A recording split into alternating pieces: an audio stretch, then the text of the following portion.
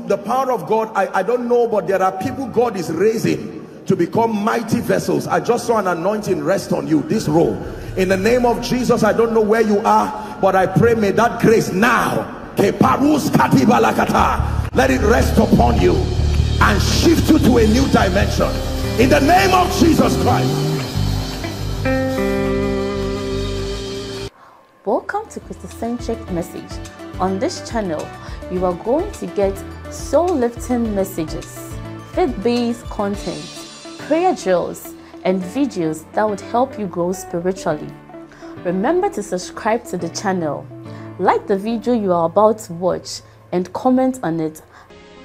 We really apologize. We're a very responsible ministry, and my heart goes out to all those who do not have seats or those who are outside. We really apologize.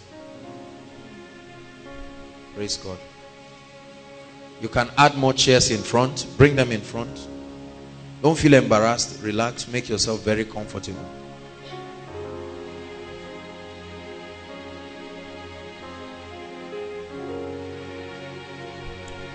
One of the reasons why men of God do not get blessed and one of the reasons why God does not honor many ministries with people is because they do not know that ministry is all about people hallelujah.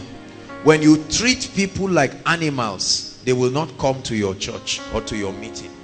Hallelujah. Forget the fact that we teach and say okay the Holy Spirit is this. If you like don't come and get blessed. By the time you see empty pews again and again you must change your confession. We treat people with honor and dignity because the Bible says now we do not yet appear we shall, what we shall be like we realize that we are treating men and women of royalty men of dignity. Only God can tell how far.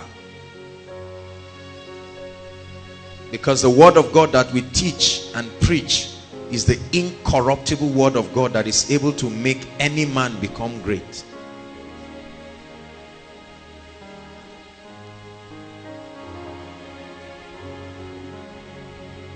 Once again, we apologize. Thank you, Jesus. So tonight I'm teaching on one of those keys again. Many of us have been receiving these keys again and again. Please just indicate by way of lifting your hands if you know that you are gaining understanding into the operation of spiritual things. Let me see your hands that you can like a doctor look at someone's life right now hallelujah come sir can i use you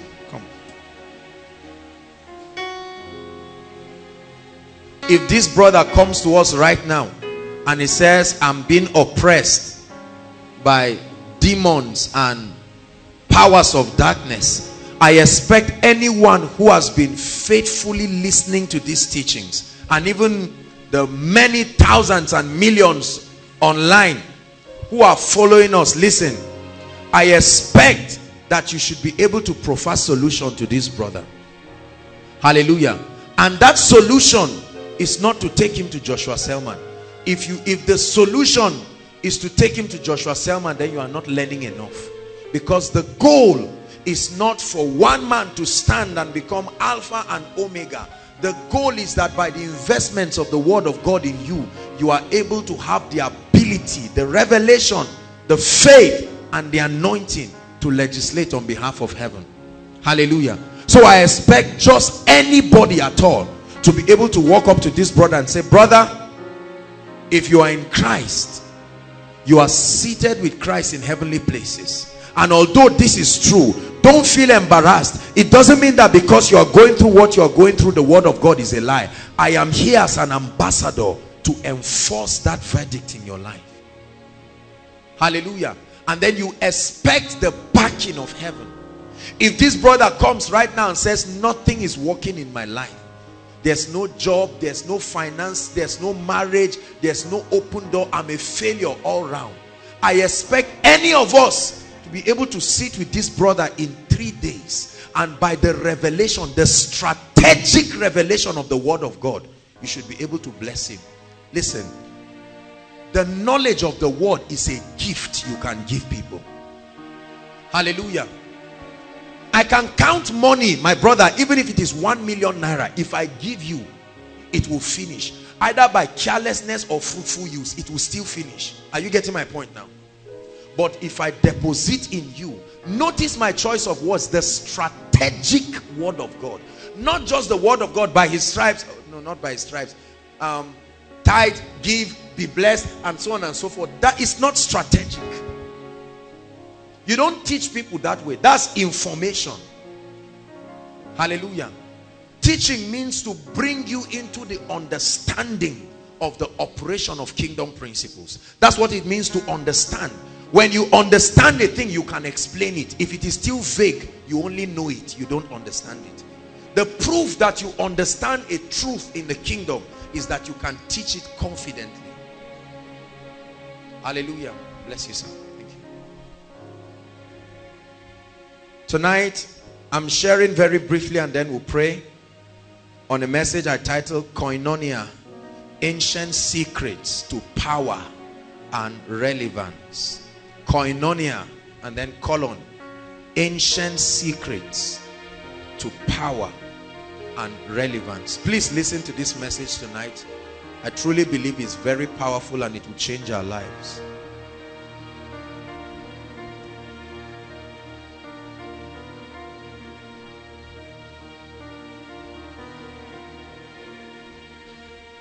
His grace, your grace.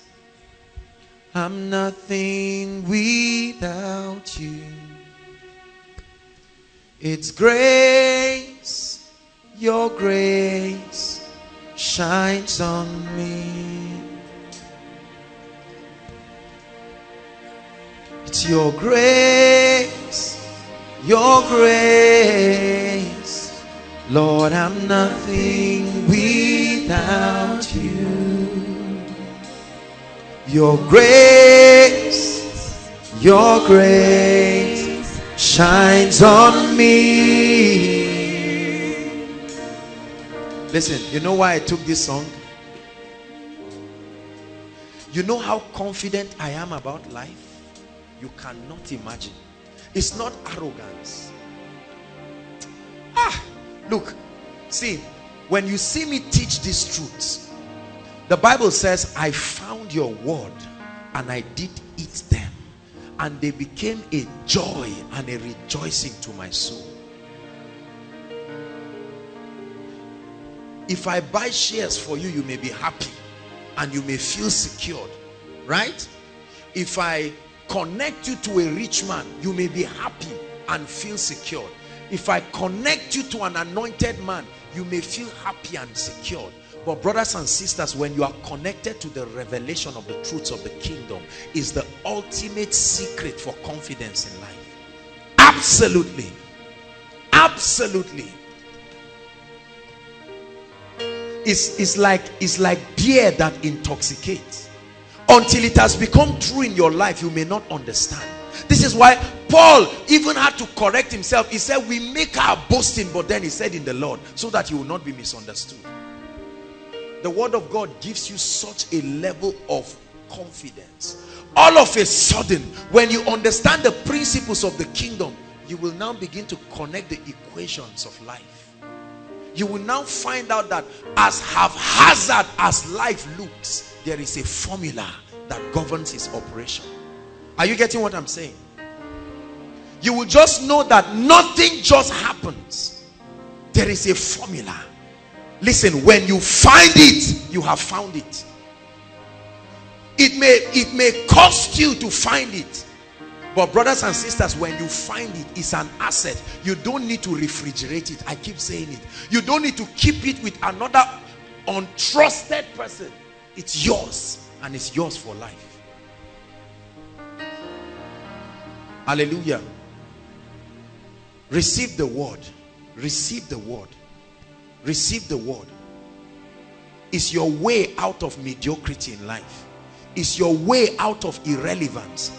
I don't know what you may be going through right now. And I don't care how bad things are in your life. I'm telling you the truth, brothers and sisters. If you receive the word of the kingdom, the strategic understanding of the operation of the kingdom, you are a champion and no power in existence can stop it.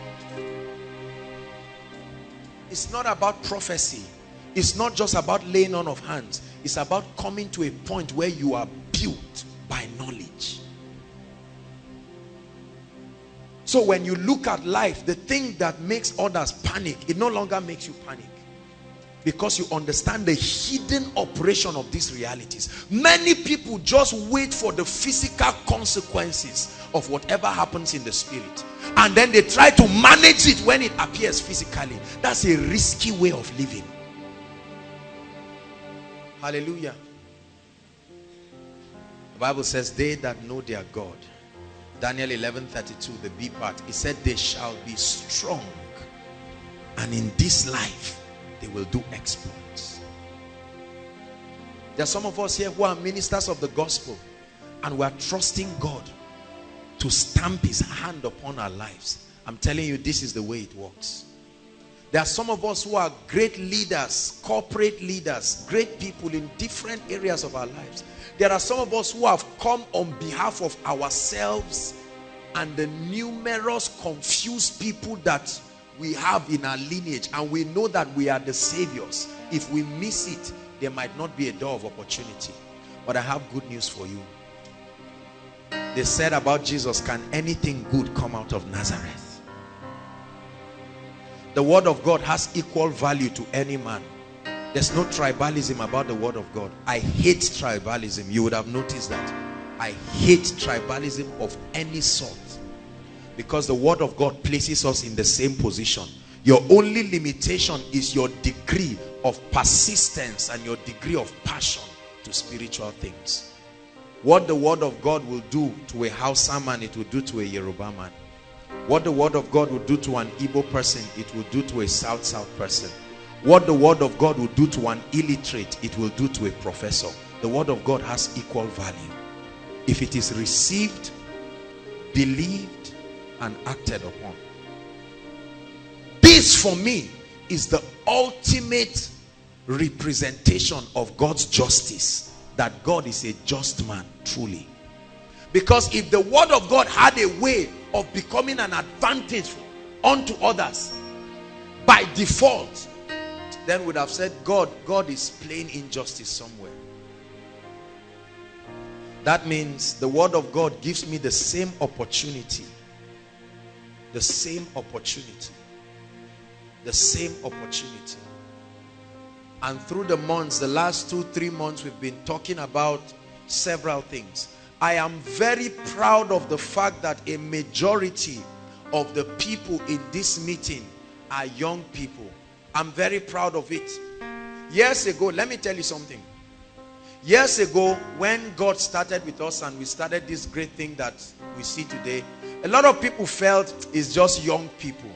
But they have forgotten that the man celebrating 50 years today was once a young man who was misled with wrong information. And he, he confused himself to old age. And so, for me, a man of God said the Lord told him something. He said, give me the youth and I will give you a new nation. Some of our parents are too old to effect change. They will only leverage on our own transformation. Are you getting what I'm saying?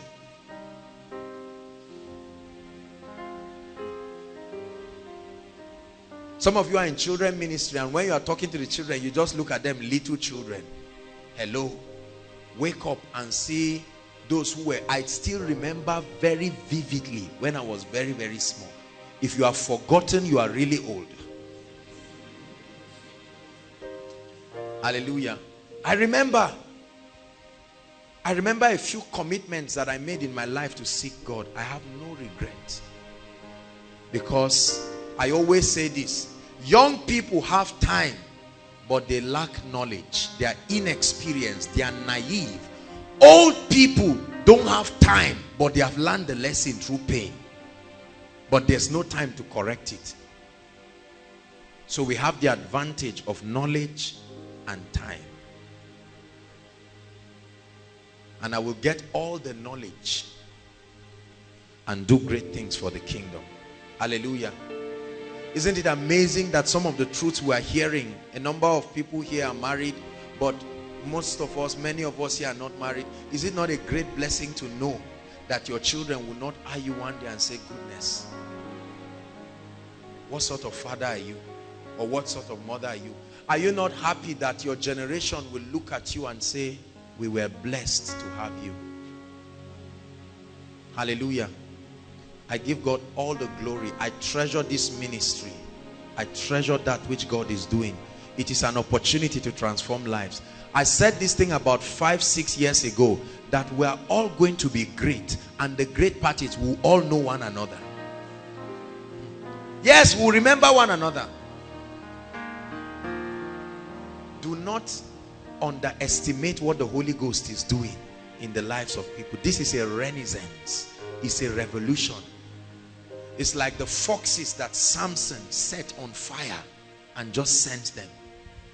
There are some of you sitting down here. Even you, you do not know how mighty. Who knows? Maybe there are wives of presidents in this place.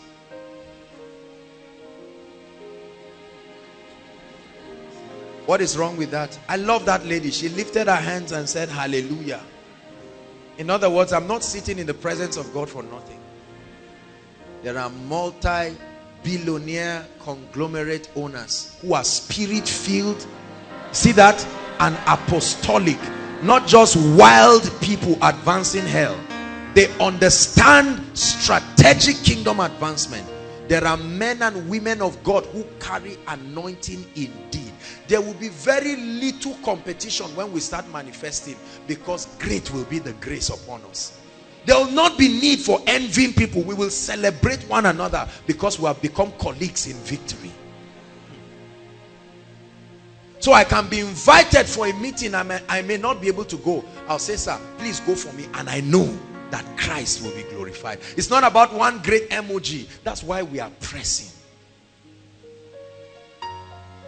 the earth will see wonders.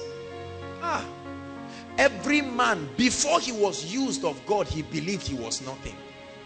But not when God stretches his hands upon you. He will make a wonder. Lord, we thank you for what you are doing. I treasure and I appreciate what God is doing in my life. And I'm encouraging you. Do not trivialize what God is doing in your life. Not everybody is as yielded as you are. I hope you know that. This is Friday night. There are many disco halls that are open. What's the time? It's the right time when everything is open. And trust me, there are some people sowing to the flesh, making generous investments unto death. But you are here building your spirit. There is the justice system of God. Do not be deceived. God cannot be mocked. Whatsoever, not a preacher, a man sows. Brothers, you are standing now, but you are already sowing for your children. School fees will be paid. You are not even aware when it was paid. That's how blessed it can be.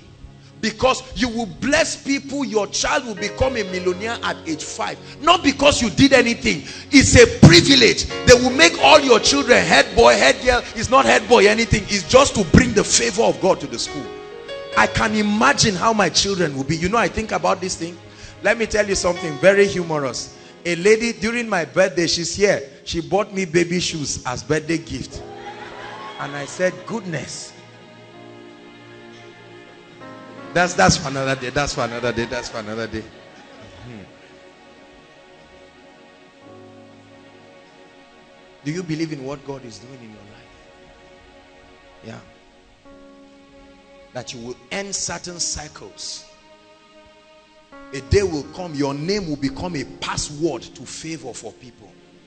That when when there are barriers and there's nothing to do they don't need to start shouting jesus foolish. They say i know this gentleman. See you know him. Are you sure? Please. Ah. may it happen oh god. May it happen. May it happen. May it happen. Yes it will happen so let people laugh at you, no problem. Let them criticize you, no problem. Pay the price now. Sisters, I can guarantee you, you are going to marry very good men. It's a guarantee.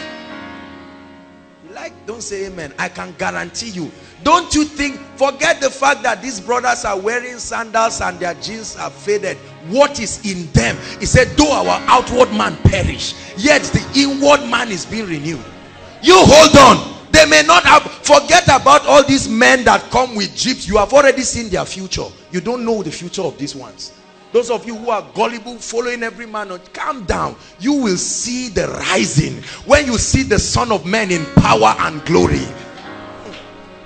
You will remember, brothers, take your gari honorably.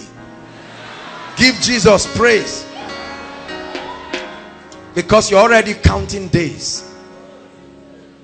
And same for the brothers. I guarantee that you will marry virtuous ladies. Yes. See, the Bible says, He that finds a wife, a, a wife is not the name of a lady, a wife is is is a is a is is is a personal it's not a personality it's a what do i call it it's an office you must be a wife before you become found he said he that finds a wife not he who's finding makes her a wife that, that's for another Ah, some of you are happy. You wish I would just continue. You like this love and relationship thing.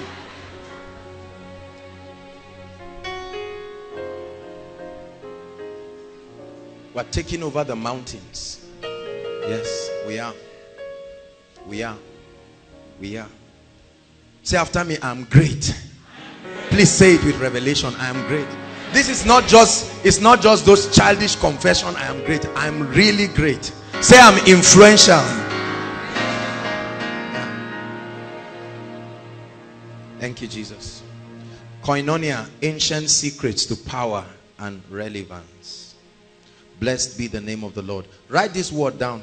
The teaching has begun, please. Make sure you have something. Right? You just shouted, I am great, I am great.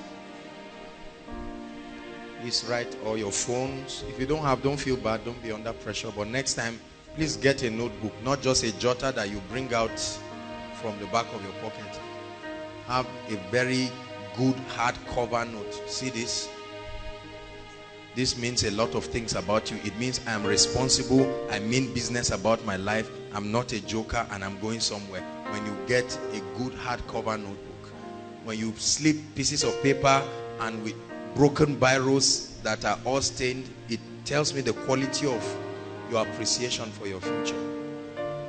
Write this word down uncommon. Help us, Holy Spirit. I'm sharing something very spiritual, and I trust that the power of God will back up the things that we're teaching tonight. Write that word down uncommon because this is what you are becoming. The word uncommon means to be needed. It means to be needed. It means to be in high demand. To be in high demand. It means to be significant. Are you writing please? It means i like this one not easily replaceable. To be uncommon means that you are not easily replaceable. It means worthy of honor.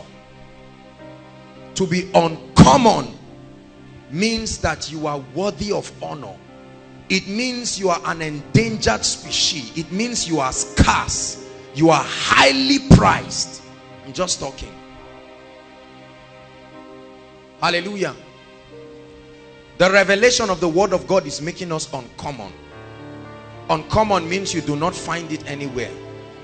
Uncommon means you don't pick it on the ground. Gold is a treasured metal because you have to dig the earth to find it. No one treasures sand so much because you can bend down and just pick it up.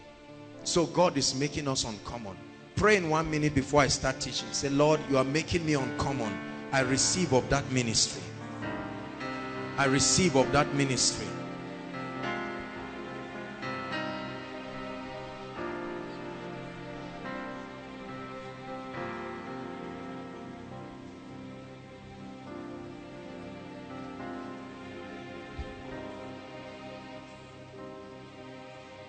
Pray.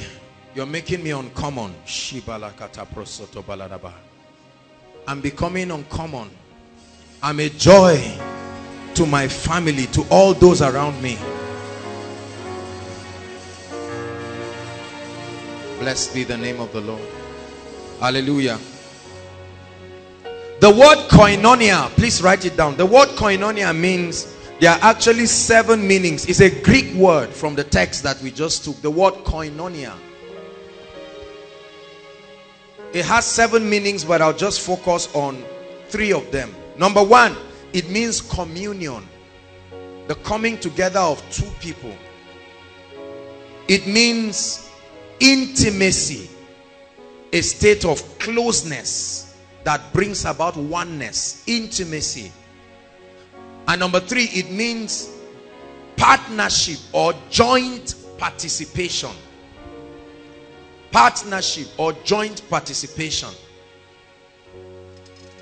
I have discovered in my life and I've studied from scripture that this word koinonia enshrined in this word is the revelation that holds the key to true power, true anointing Many of us, when you see a man that is mightily being used by God, we say this man is anointed or this is a powerful man of God or this man is full of grace, you know, and so on and so forth. To mean that there is a rich deposit of the ability of the Holy Spirit in that man's life. And tonight I want to show you the secret because there is a secret. I call it an ancient secret.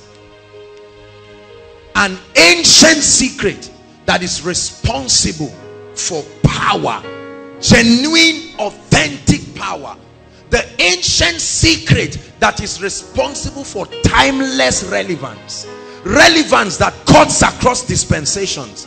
Relevant that cuts across age and geographic barriers.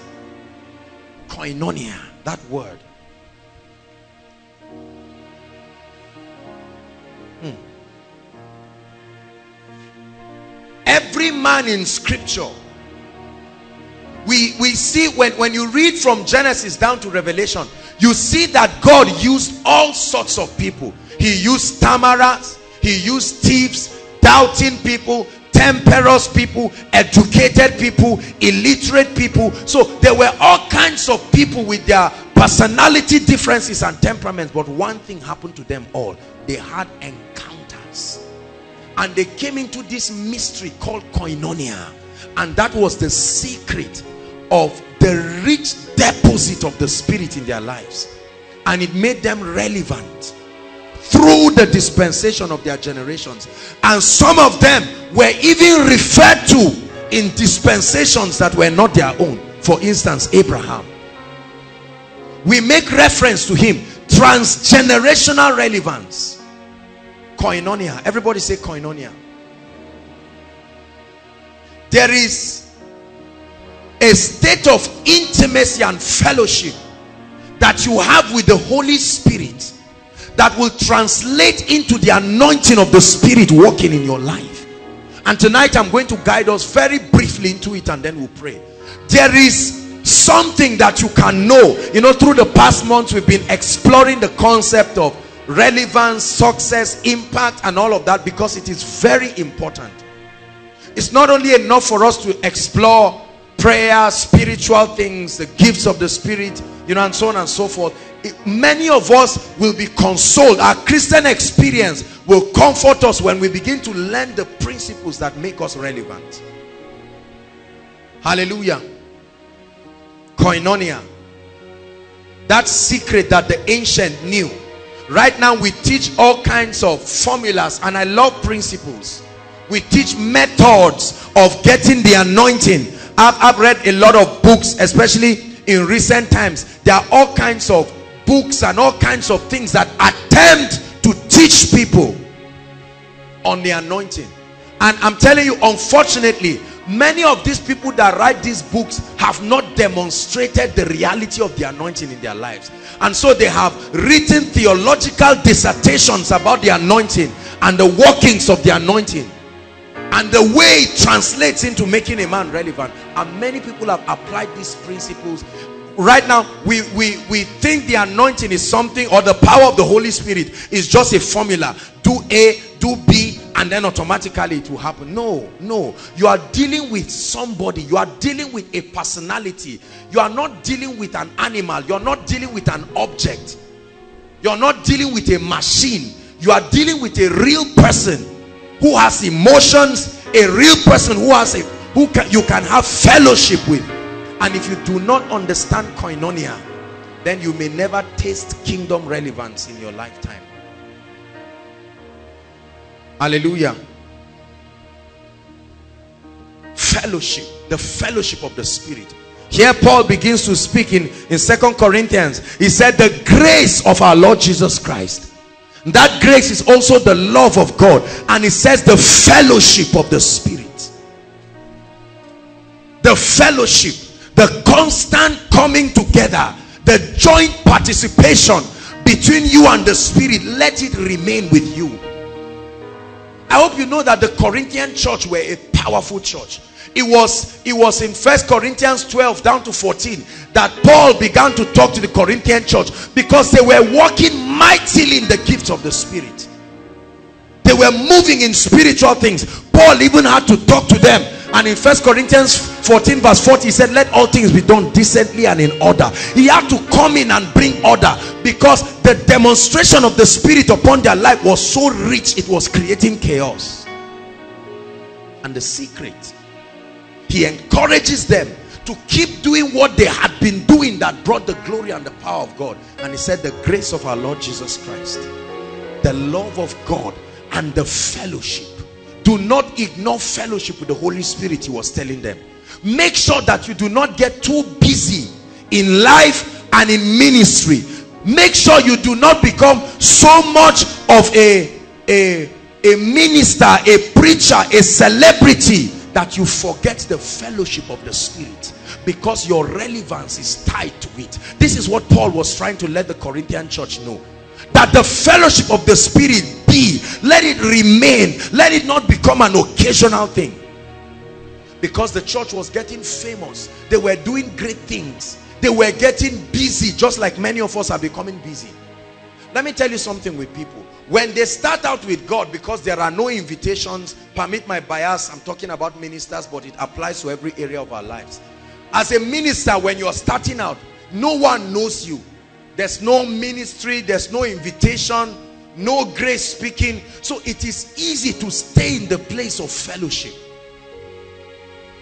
And I'll share a few components of that. You know you stay you experience that koinonia you can dedicate a whole day a whole week. But then something happens. When you start becoming busy there are all kinds of ministrations here and there. You have invitations and you have to even select which one to go and which one not to go. At that point the the grace and the impetus to continue koinonia is affected because right now there is nothing to lose. Even if you stay for one month and you don't read anything there are tapes that have recorded the workings of God in your life. And those tapes will open doors of ministration. When you stand there will always be something to share. And God cannot deny himself. So you will still see the grace of God here and there in your meeting. And then many people become stunted. And many people even lose relevance. I preached the message and you can get the teaching the secret of sustained glory. I think it's a preparatory message to what I'm sharing tonight. And if you don't have it you can get it from the media. It's free. The secret of sustained glory. The secret of transgenerational relevance. I don't want to be a man of God who will be relevant for four or five months. And then one day they'll say ah I remember. We used to know this guy. Oh he loved God. Don't know what happened but it has happened there's so many people like that. In this country there are men who were relevant in certain seasons. They carried the banner of spiritual things. They pioneered certain great things but right now their voices are silent. I want to tell you something. When you lose the fellowship of the spirit you have lost the place of spiritual power and you have lost the place of relevance. When you lose koinonia when this word becomes foreign in your life and through your your words you cannot mention that word frequently again. I'm assuring you you have lost spiritual power.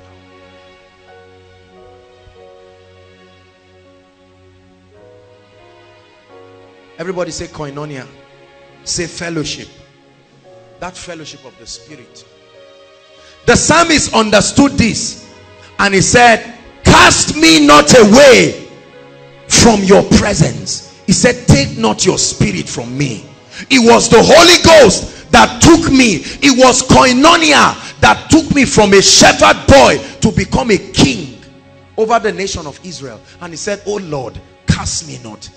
It's because of the presence of the Holy Spirit. And this participation is because of my joint partnership that I've written so many songs. I've written so many hymns that I am considered to be a great king because of one that works together with me. And he says oh Lord cast me not away. Let nothing happen in my life and in executing my work that makes you cast me from your presence because at that point I will begin to lose relevance hallelujah. This happened to his son called Solomon. Solomon theologically speaking wrote the book of Ecclesiastes in his fallen state. Hallelujah. That's why he wrote all sorts of things. Vanity upon vanity he was angry. All his vanity he was communicating frustration because he had done all sorts of things. The man who saw the manifest presence of God twice it was Solomon who prayed at the dedication of the temple. He said now arise O God and come to your resting place. It was Solomon. Now Solomon had lost the place of koinonia and he began to lose relevance and he wrote the book of Ecclesiastes advising people and communicating his frustration. He said I gave myself to everything. Everything my eyes saw that I wanted I got. No restraint.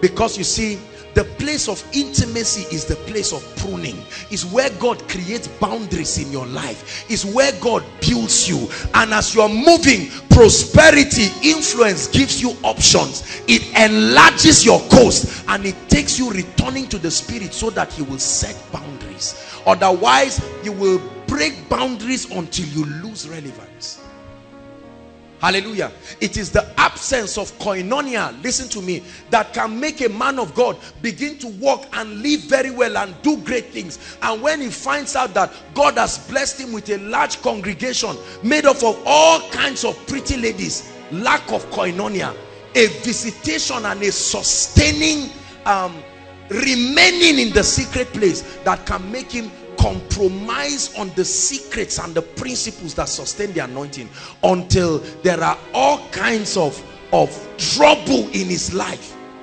All sorts of things here and there disturbing a man of God's wife sleeping with somebody who came for counseling. I'm not castigating people. The mercy of God is still there. But I'm just telling us it can be preventive. Are you getting my point now? You can you can prevent it. It can be prevented. Sorry you don't have to wait until you pass through it and then try to manage it. There's a great man of God. I honor the man so much. He has a television ministry. He was a great evangelist, mighty evangelist. Then, if there was a little scandal, not now that a man of God can even come on stage and say, I'm gay, and then nothing happens. Congregation doesn't change. Then, no matter how little the scandal was, you've lost your ministry. A great man of God by the name Jimmy Swaggart this man did mighty things. He was in the class of Benny Hinn and Reinhard Bonnke and all these men of God. Mighty man. But just a little scandal just dropped him down. And he's risen back today. He's doing great things. But he may never be like before again. Hallelujah. A man of God who starts in the secret and now becomes and all that he's obsessed about is cars. He he can sit down browsing all through the night all sorts of cars because it's just to make the order and in six weeks he's, he's in his garage. Lost without restraint. Everybody say koinonia. The secret of true spiritual power. I'm teaching us this because it is important that we become relevant what are the components of true fellowship with the Holy Spirit? What must happen in your life for us to really say you're fellowshipping with the Holy Spirit? What does it entail? Koinonia is not just a vague thing. It's, it's something that is, is you can describe the activities that happen in that secret place. Number one, or before we even talk about them, let me just tell you something. If you want to enjoy intimacy with the Holy Spirit, the first thing is that you must recognize and respect his ministry in your life. You must respect his relevance in your life. This is very important. Very, very important. I can never be close to you if you do not communicate to me that I am needed in your life. Is that true?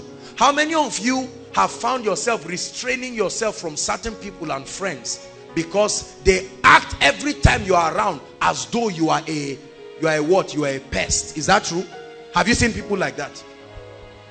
Even when there is fire falling on their head, you say, let it fall. The last time I went there, they treated me like a dog. Can I tell you something? The Holy Spirit is God. Make sure you write it. The Holy Spirit is not an archangel. The Holy Spirit is not the first man. The Holy Spirit is God in all the fullness. So you must be able to respect and be prepared to receive his ministry. I learned that from Benny Hinn. Till today, when Benny Hinn stands upon his crusade stage with hundreds of thousands of people and millions of people, he gives acknowledgement. You know what it means to acknowledge a man? Go for occasions and you find out that if there are dignitaries seated around, they don't start the occasion proper until you acknowledge them. In our midst here is so, so, so and so, and then they say a little bit about the man he was able to do this and while they are doing that the man is excited he's happy and there are ushers already standing close to him say ladies and gentlemen please make welcome this and that and his lovely wife and two of them try to pretend i don't want to go and they say please sir we must we love you too much. This seat was made for you. And you are acknowledging them. And the amount the man did not plan to give he will give it because he was acknowledged. The bible says in all your ways acknowledge. It didn't say talk to him. Many of us talk to god but we don't acknowledge him. Hallelujah do you respect the holy spirit or do you just believe in him? I respect his ministry. There is an invisible person brothers and sisters that stands close to me. Take that person away from me. Two weeks two weeks joshua selman is dead. People will keep asking what happened? Maybe he has gone to babalawo maybe the charm was not renewed. Everything has backfired. The presence of the spirit. I'm not embarrassed. Listen and let me use this to teach you the secret of friendship for many of you everybody you come close to runs away from you let me tell you what is wrong now it's not necessarily demons it's because your life creates a picture that trivializes the importance of people in your life the bible says he who wants friends must first show himself friendly if i come to your room and you are frowning because you want to put food and I'm full. It's not even that I want to eat, but the way you are frowning, you are creating a body language that tells me you now for you. You know, you think I'll come there again? But when I come and you celebrate me, you show genuinely from your heart that if I were to come hundred times, you will still receive me. A time will come when I will make my habitation in your house there. That's what happened to the prophet. Remember the prophet and the Shunammite woman? every time he passed when the woman saw him she she made table. She studied the things that he liked. She put a table for him because she noticed he was always receiving from god and writing. And the prophet was so amazed. A time came when she even created a room for him. And she was blessed. Do you make room for the spirit? You get up in the morning you get up in a whole week and you don't care about him. You don't talk to him and then sometimes we come for koinonia and people just tell a lot of lies you are the love of my life huh. love of your life of your life not even of your day of your life I wouldn't trade you for silver or gold. I was teaching in a ministry and I said, hold on. Do you know what silver and gold is? Silver and gold can change your life and your family.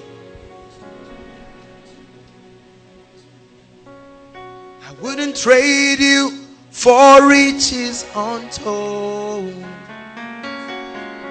You are, you are my heir. As a lady, when you are singing, your husband will just be looking at you. You are my everything. Okay. And now see the reason why you don't cook for me again. You are not faithful.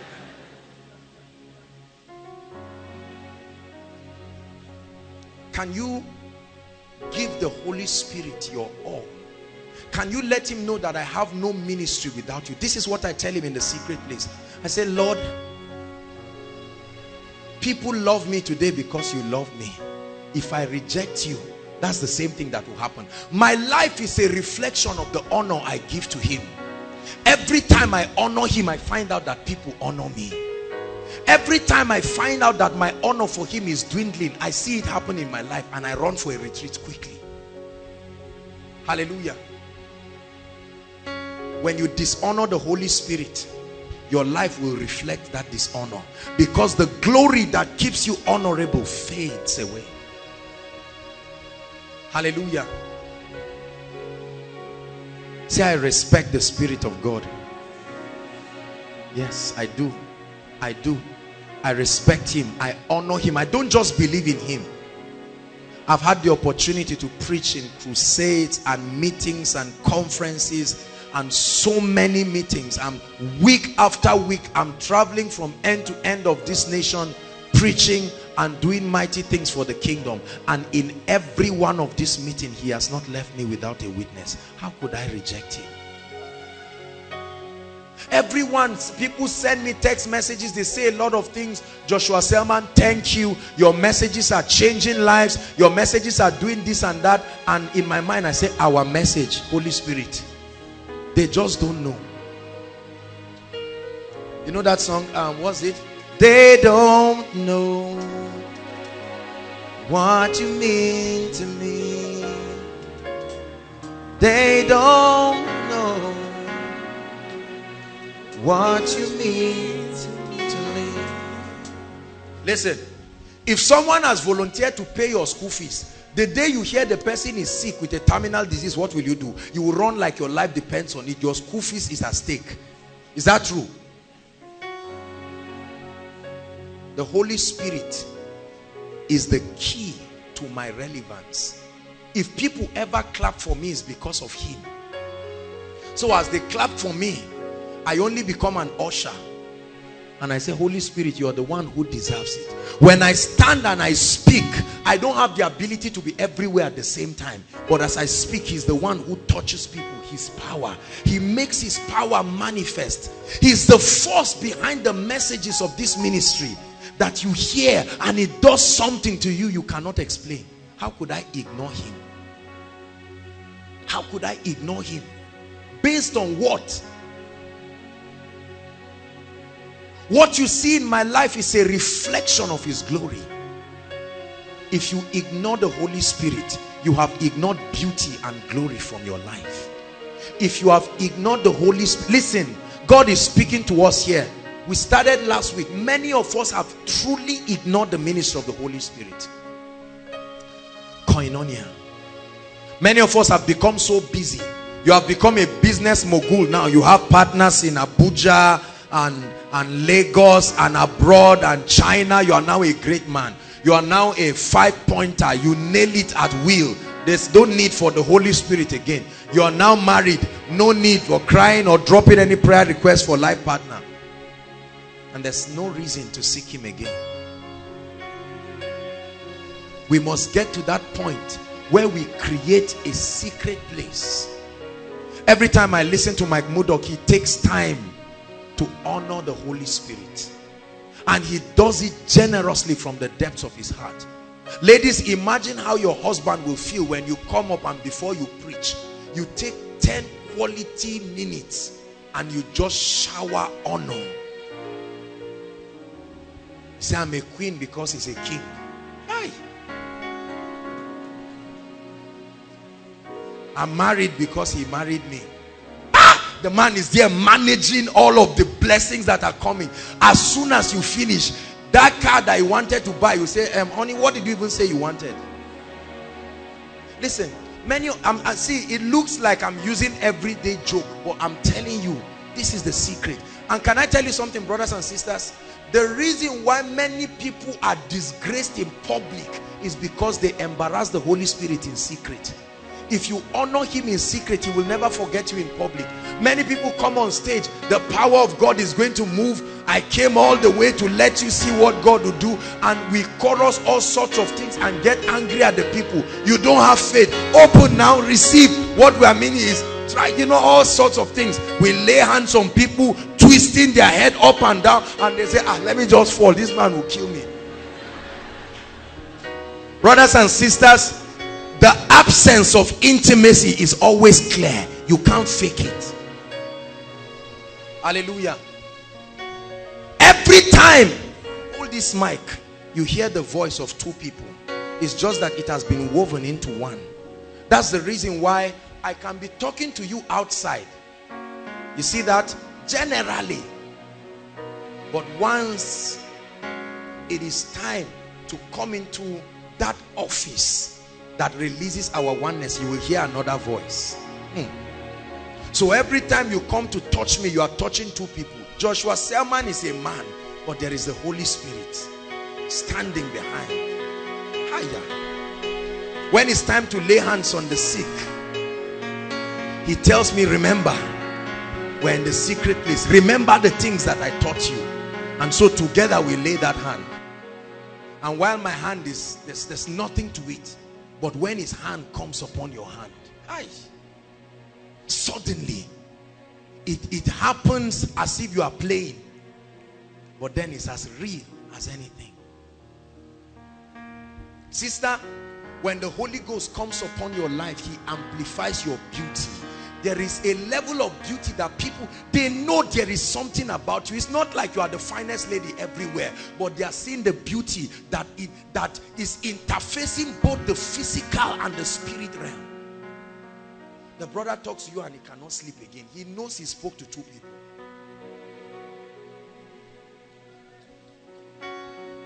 Hallelujah. And so you greet someone and you tell the person god bless you. And that word comes with an anointing because there is another personality.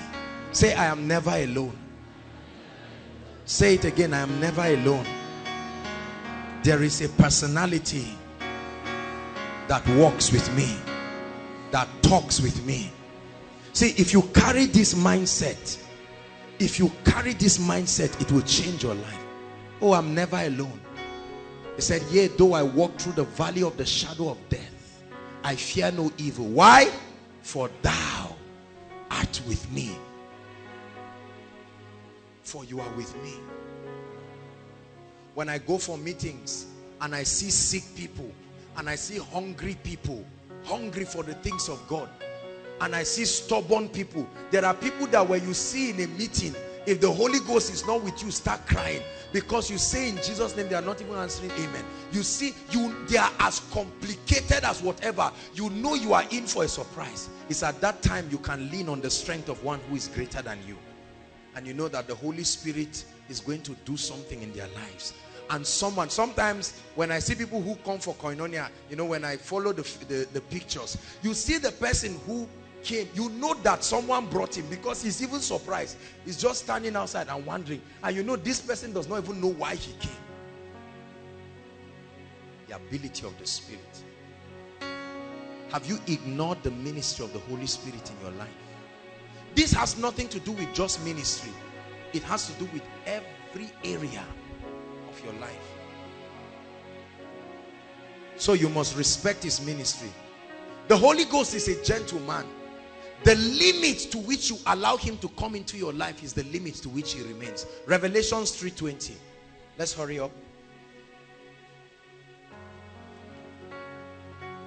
Holy Spirit, thou art welcome in this place.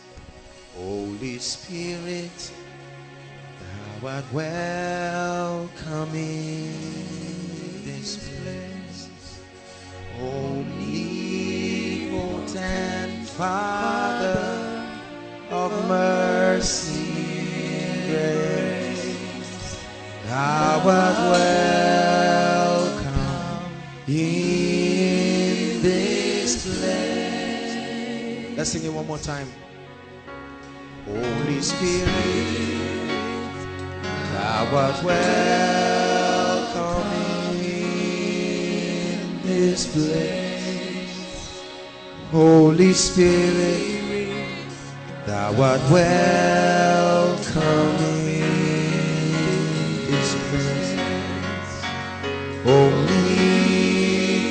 Omnipotent Father of mercy and grace, thou art welcome in this place.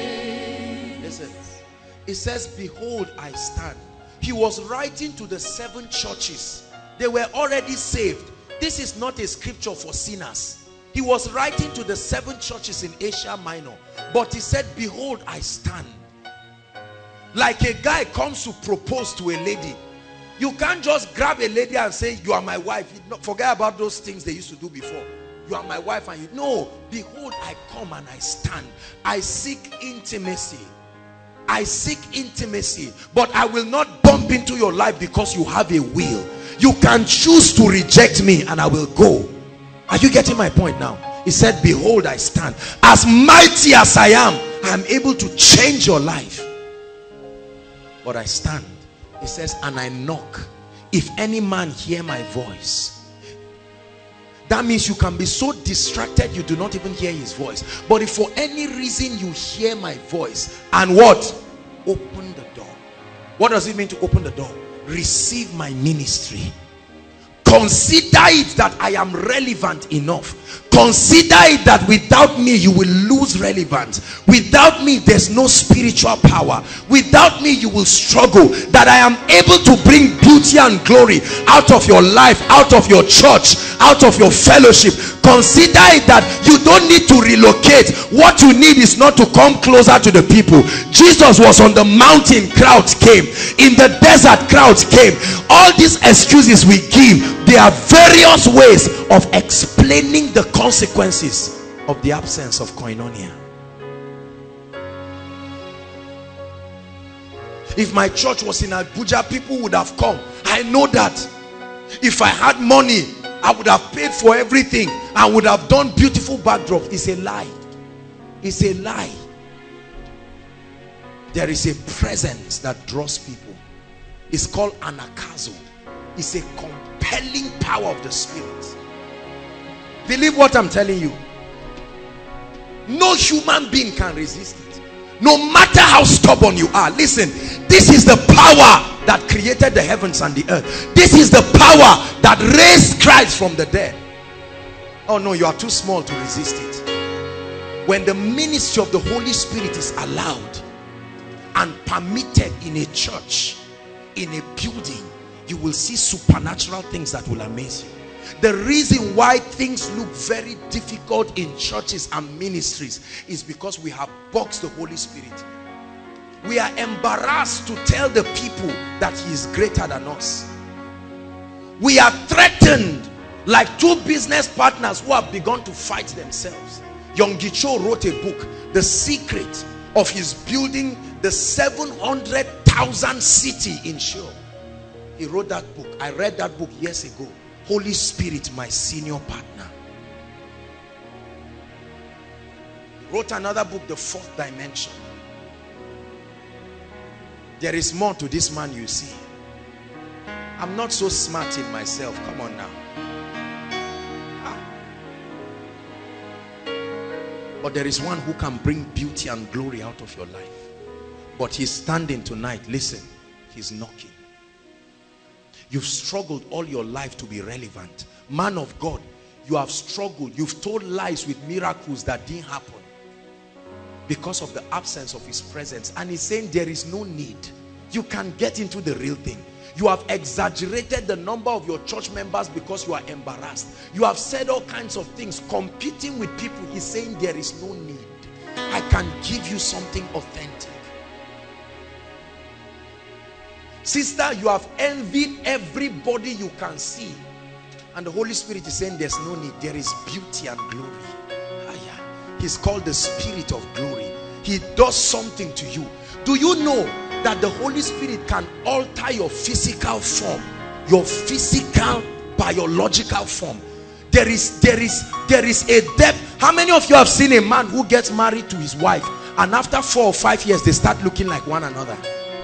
Is that true? It even happens to some, even from relationship. Before they get married, you say, ah, oh boy, when did you start becoming fair? Say, that's none of your business. Oneness, participation. How many of you have seen pastors of certain ministries look like their ministers? And you know they did not try to cook it up. Something happened. It looks like their physical appearance were altered. That's what happened to the apostles in Acts the book of Acts. They looked like Jesus. That's what happened to Peter. When they saw Peter, they said, no, Peter, your talk betrays you. It tells you you have been, Peter said, woman, me, I've not been with Jesus. But he had been so into oneness that even when he wanted to run away, he could not. He had taken up the language, the character. Let me tell you something about oneness with the Spirit. Let's see, my dear. When you become one with the Holy Spirit, see, when a spirit comes to walk with a man, the spirit begins to live out its characteristics through that man. Just like a demon spirit. Right? There was a spirit and it was the posture of that spirit, the woman who was bound for 18 years as you. When you are praying for people and you know during deliverance sessions you see people acting like animals and acting like snakes because the spirit that oppresses them is trying to manifest its characteristic through their faculties. So when you walk with the spirit without struggle that is the real revelation of grace. You start seeing the love of God at work in you. Are you seeing the point now? There are times that the Holy Spirit is grieved about certain things and you start crying physically because you are now you have there is a sharing together. He can pour into you his burden. Hallelujah. There are times that the Holy Ghost is excited. So you are praying in tongues. We'll talk about that. You are praying in the secret place and the Holy Spirit sees that you have entered the realm of victory. You cannot see it and he starts rejoicing and you start laughing. You see now you have not seen it but because you are one he starts letting you share in the victory that's why when a sick body is healed, the Holy Ghost doesn't just appear and say, all right, stand, let me shine. Congregation, I am the one. You are the only one who is left. That is your own benefit of coming into oneness. And so people look and your face on posters and billboards and people say, this is the great man. And you who, because you have wisdom, you run back and say, Spirit of God, I'm not foolish. We are together. It's the biggest secret that I've learned. The ministry of the Holy Spirit. Let everything in my life give way. If you leave me with the Holy Spirit you have not done anything to me. Hallelujah.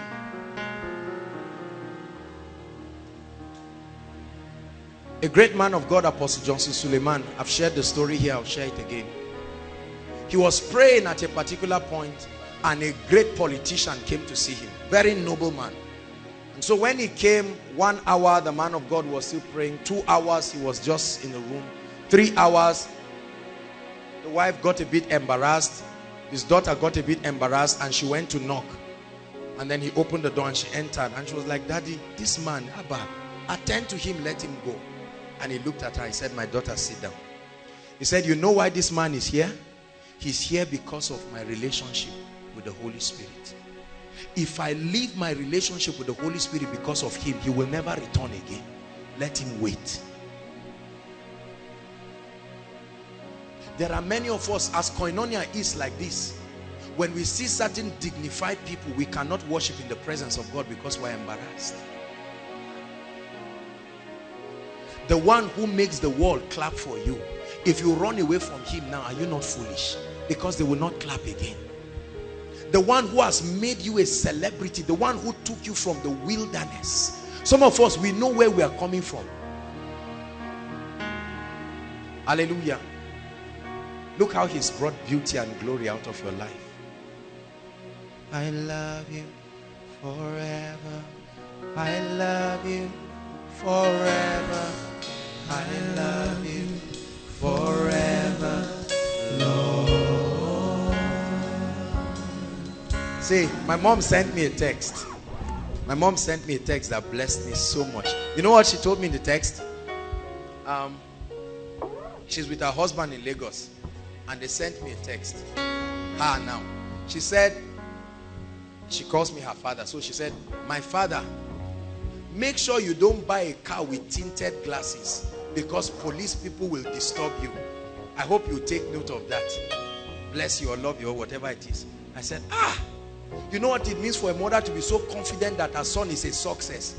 She knows that if I'm not going to go and carry any kind of thing and manage, she's advising me in advance. You say, buy, a, don't buy a car with tinted glass. That's a level of trust and confidence. Are you getting my point? Can that be your testimony? Can your father look at you and say, son, I know you will build a house for me. Please, when you are building it, can you make the kitchen a bit larger? And he knows you are not going to say, are you joking? One plot of land?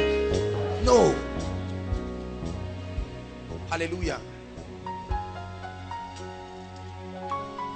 I remember years ago, someone met me and we are talking about purpose and destiny. A good friend of mine.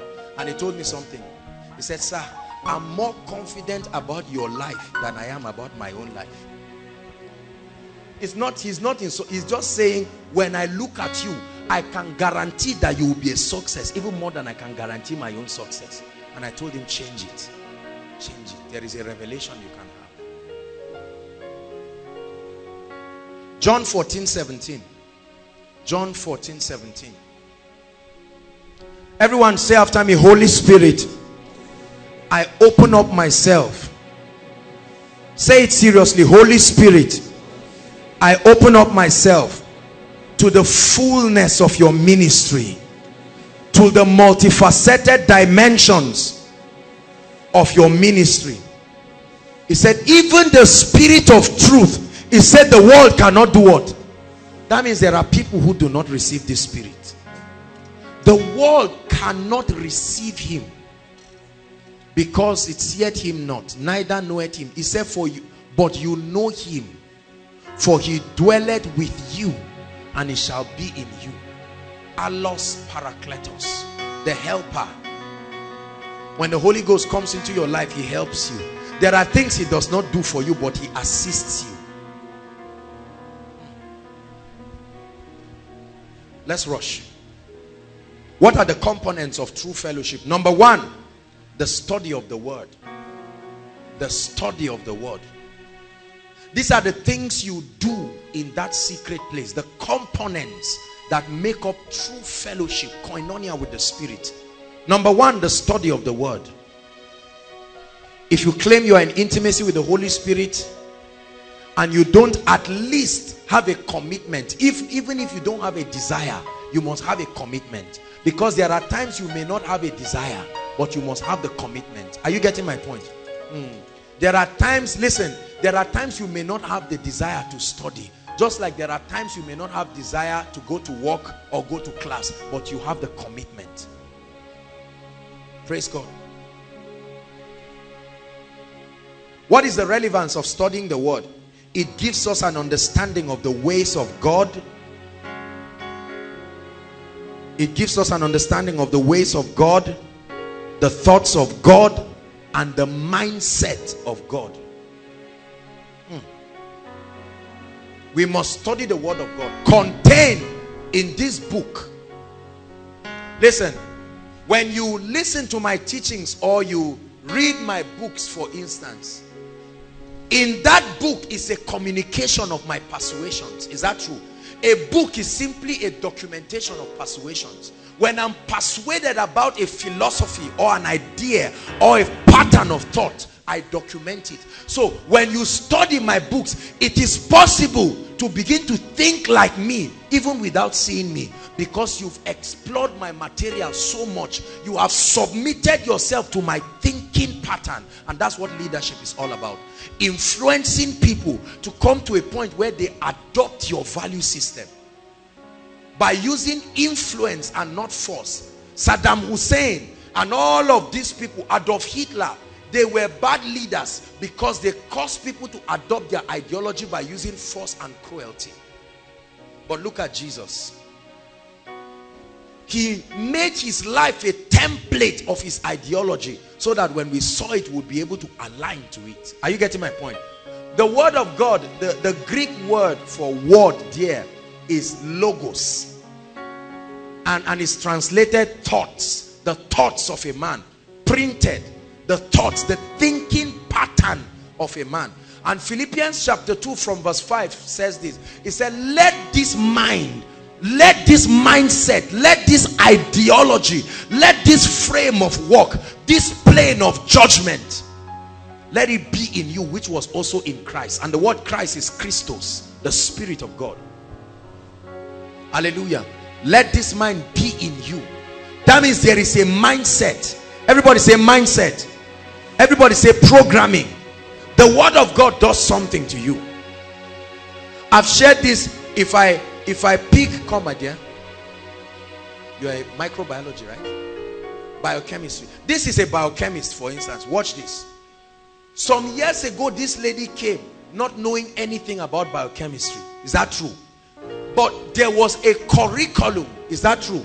That had been created with the goal of transforming her. Did they change her body? Did they injure her? They just passed her through a system for a period of time and the lecturers looked at her and felt she was qualified to be awarded a degree so the word of god is his school of training you where you interact with his thinking pattern it's not a devotional to make you feel spiritual the word of god is his thought his mindset his ideology bless you my dear so all the while you've been taught all your life that if you want to be rich, money doesn't grow on trees. Hoard as much as you can hoard. Cheat everybody. Kill if it's possible. But then when you explore the mind of God, the constitution that governs the operation of the kingdom, you will find out that there is he that scattereth and yet increaseth. There is he that withholdeth more than his meat and tends to poverty. Now you are in conflict. There are two mindsets. Are you getting my point now? And when you submit to the word of God, you have permitted. The word let means permit. Permit this mind. Hallelujah. So culturally, you have been taught that when you envy people and fight with people, then you become the big boss. Ah! And then you come and you study that when you come into Christ, there is a new law. There is a new operation of love that works in you. Hallelujah. Everybody say the word of God reveals to me God's ideologies, God's perspective. And then it also reveals to you God's opinion about every matter. There are many opinions, brothers and sisters. The word of God reveals to you God's opinion. I'll be chipping a lot of things to bless us. Come, Sheyi. Listen. If I want to marry this lady now, I don't need to go and meet a devil like many of us go around scouting for everybody and they just say, just tell me. Uh -uh. The word of God. As a young man, you want to get married. Are you getting my point now? Culturally, you are taught, just go to the village, carry anybody that is available, save Johnny, flog it out in the marriage there. After all, you are the man. Eventually, you will survive. Two of you will be tired of fighting and you will now sit down on the round table to discuss how to move your home forward. That's a cultural way. But according to scripture, number one, you know that it's God's will for you to marry. Male and female, he created them. Not two males, not two females. Male and female. So it is very clear that you have God did not create a man and a whale. So if you find out that you are having desire for fish to marry, you know that you need to run for miracle service. There's something wrong. But listen, listen. I'm teaching you how to adopt the mind of God. See that? If you find out you're having a desire for another man or another lady, you know that you need help. Quick. Quick. Either a retreat or prayer. Anyone. You need it quick. Now watch this. I'm showing you how the mindset of God affects you, right? When you now go to study the I, I'm reading now as a gentleman who wants to settle down. And the Bible says, for this cause shall a man, not a boy. So the first question is what makes a man? I'm showing you how to study and meditate upon the word of God. And he said, shall a man leave his father and mother that means he must be independent and there are several things that bring for independent responsibility. Some level of financial security some level of mental stability. Are you seeing how i'm building on god's mindset? Leave his father and mother and cleave to his wife not his wife and other concubines his wife. Right? And they two shall become what? One flesh. Automatically it tells me that the lady i'm going to marry is not a house girl. It's not a kicking machine to beat her up every time a business deal doesn't go well. Are you getting my point now? And then I study from God's word. He said children are a heritage from the Lord. Not a product of a man and a woman. They are heritage from the Lord. So I bend to the mindset of God.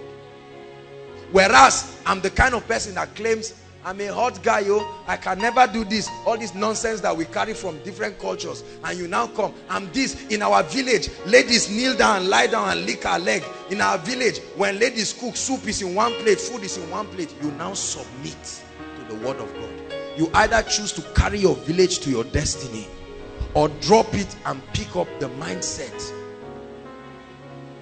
Choose ye this day, the Bible says. That means you can choose. Are you getting my point now? And I say, lady, when you make up your mind and say, no, me, I'm not going to do anything. No, any man that I will give it to him. I'm not, I'm not cooking for any man. I'm this and that. Uh, we are women. I'm independent. I have my own rights too. Then you read, wives. You first ask yourself, am I a wife with this noise I'm making? You see that because if you are not a wife, he was not talking to you. You can continue doing what you are doing. But if you are a wife, the Bible says, submit to your husbands in everything everything. It did not leave you with a choice. This is the law of the kingdom. And so you now bring yourself and say well talk god. This is how you have made it. I subscribe to your government. Hallelujah. So if you're one who is lazy and not giving to prayer and you find out the bible says luke 18 verse 1 he spake a parable to the end that men ought always to pray and not to faint automatically you know that you will submit. The goal of studying the word is not to give yourself head knowledge that puffs up. Every time you study the word find the principles of the kingdom. The next thing is submit to their operations. Bless you man you see the reason why our study of the word does not profit us most of the time? Because the truth is many of us use devotionals we use books but when we study the word of God, we do not submit. Number one, many of us study and argue it. When you just study, you see something that stings your ego and you just jump it. Say, Kite, I don't like this, this book of Colossians. Let me, let me go to something else.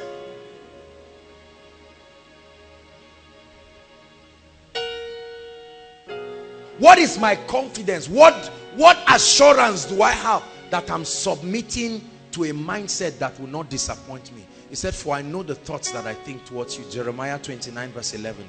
He said, they are thoughts of good. You see the word thoughts again? My mindset towards you. This mindset that I propose to you. Like a man comes to meet a lady and says, look, I will take care of you. If you go with me in this journey, forget about what you see now. We are soaking Gary, but at the, the end is peace. That's what God is doing with his word. Right? He's bringing you a proposal and he's saying look look look how your mindset has made your life. The quality of your life so far is a product of your ideologies. Can you bend and let me propose this mindset? I know this the thoughts that i think towards you. They are thoughts that will bring you good.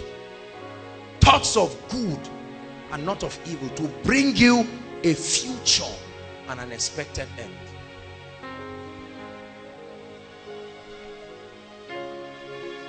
Hallelujah. Everybody say the study of the word. When you study the word, you understand the ways of God. And when you understand the ways of God, you will easily be able to detect error. Are you getting my point? So when you see an operation that looks like God, but does not line up with the value system and the ideologies of the kingdom, although it looks spiritual, you can judge it by the authority of the word. Are you getting my point now?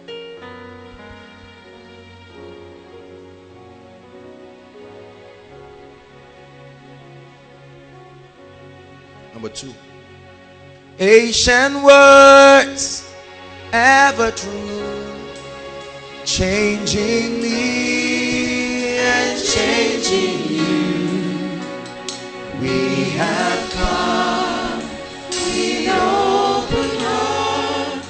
Oh, let the ancient words impart. I never study my Bible as if I'm doing a Bible quiz or competition. Many of us believe in our minds, we are used to competitions. So when you start studying, you now come and meet your friend and say, I finished Colossians today. I was just going through it. I even started Ephesians. How has it changed your life? Who cares? Who cares whether you read the book? Eh, no. Listen, don't be under pressure. It is not spirituality to say, I finished my Bible 20 times. If we cannot see the fruit in your life, it's like saying, I know Jonathan. Every day you are telling us you know Jonathan and we are still in the same level. We say, oh God, you are lying somewhere. Oh. You are lying somewhere. Because we know the way even Jonathan's houseboy is. You are shouting every time. Jonathan is my, my, my father's brother. If not because of situation, I would have grown in his house. You are telling, at a point in time, will know that you are telling a lie. That's how it is. So every time if you speak, I'm a word addict. I'm studying the word. Yet we are not seeing your life. You are the first to get angry. You are the first to slap people. You are the first to insult people. You are the first to use words that are not cultured by the Spirit. We know you have not been with God. There is an absence of koinonia. Listen, there are parameters that can measure if the word of God is growing in you. The measure of the word of God in you is the measure of the lordship of Christ in your life. Are you getting my point? He said, my little children in whom I travail until Christ be formed So I see the degree to which you have submitted to the word of God. That is the degree to which Jesus has become Lord in your life experientially. Hallelujah. Take your time and study the word of God. Listen, you must be strategic about your studying the word of God. Every day we have devotionals to help us here. But you don't have all the time to study the word of God for eight hours every day. That's not how to grow. That's a religious way. There are many of us that put ourselves under unnecessary pressure. I don't study the word of God like that.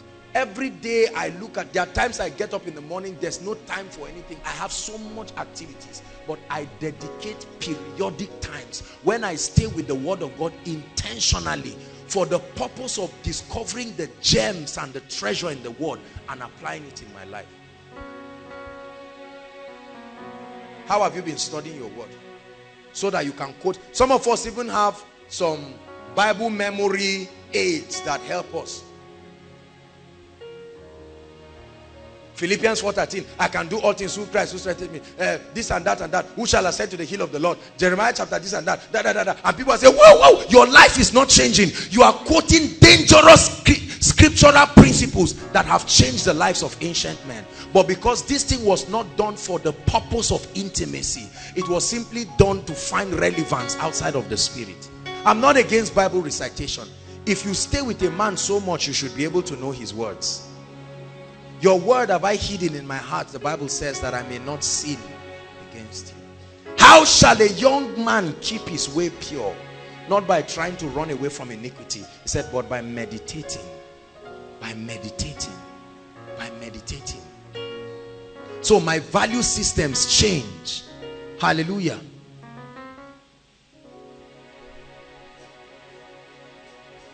Number two, the components that make for true intimacy, true fellowship.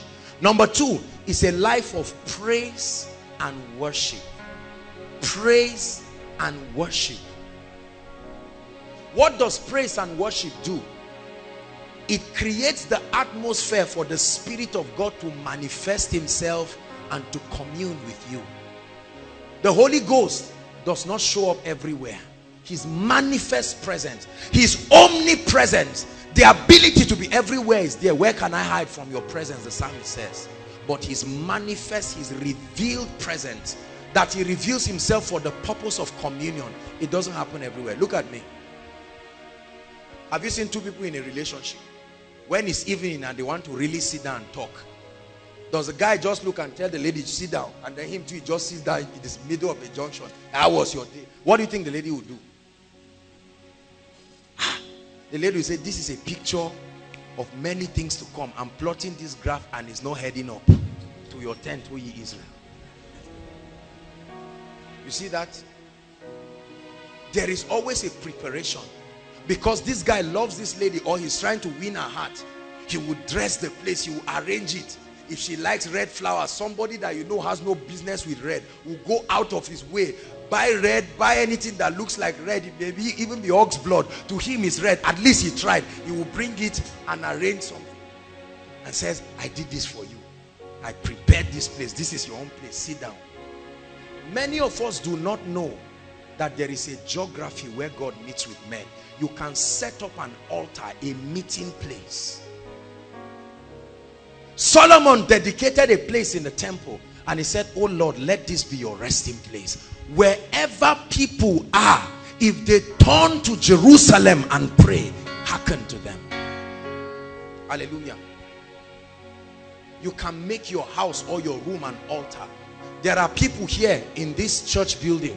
You see them in the night, they come. Some of them pray, there are some of us, our rooms, there are some of us, certain places, some toilets, some garages. It doesn't matter where. People just lock themselves somewhere and just say, Lord, I have come to fellowship. And you just sing songs of worship. I love you, Lord.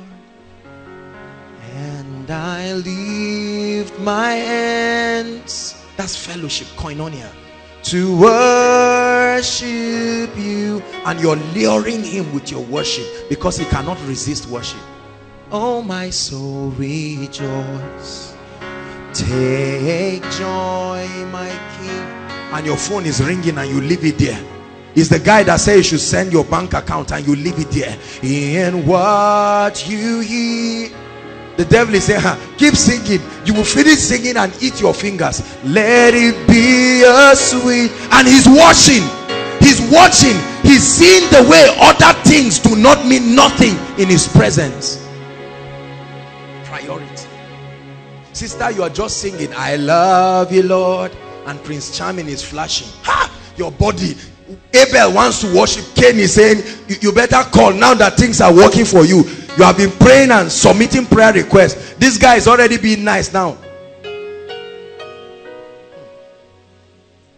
Let it be a sweet, sweet sound. Anything you love above the secret place is an idol. I don't care what it is.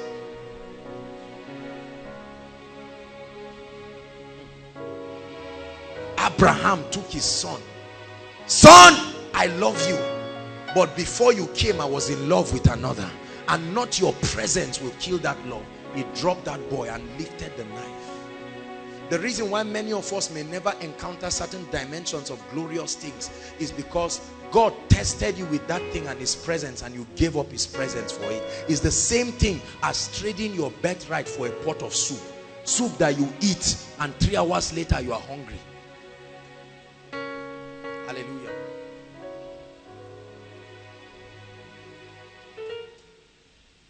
When I'm spending time with God, let the whole world catch fire. Let it catch fire. It's amazing how the devil can create so much distractions. There are some of us who, when we come to the presence of God, that's the time to ping. You just see a lady's hair. Say, that's the hair I've been talking to you about. Let me snap it quickly. And you become a commentator on WhatsApp and what they call it, all those things. And the devil knows when to disturb you. He waits until it's time for the presence. It's time for you to fellowship with the Spirit. He now brings up all sorts of things.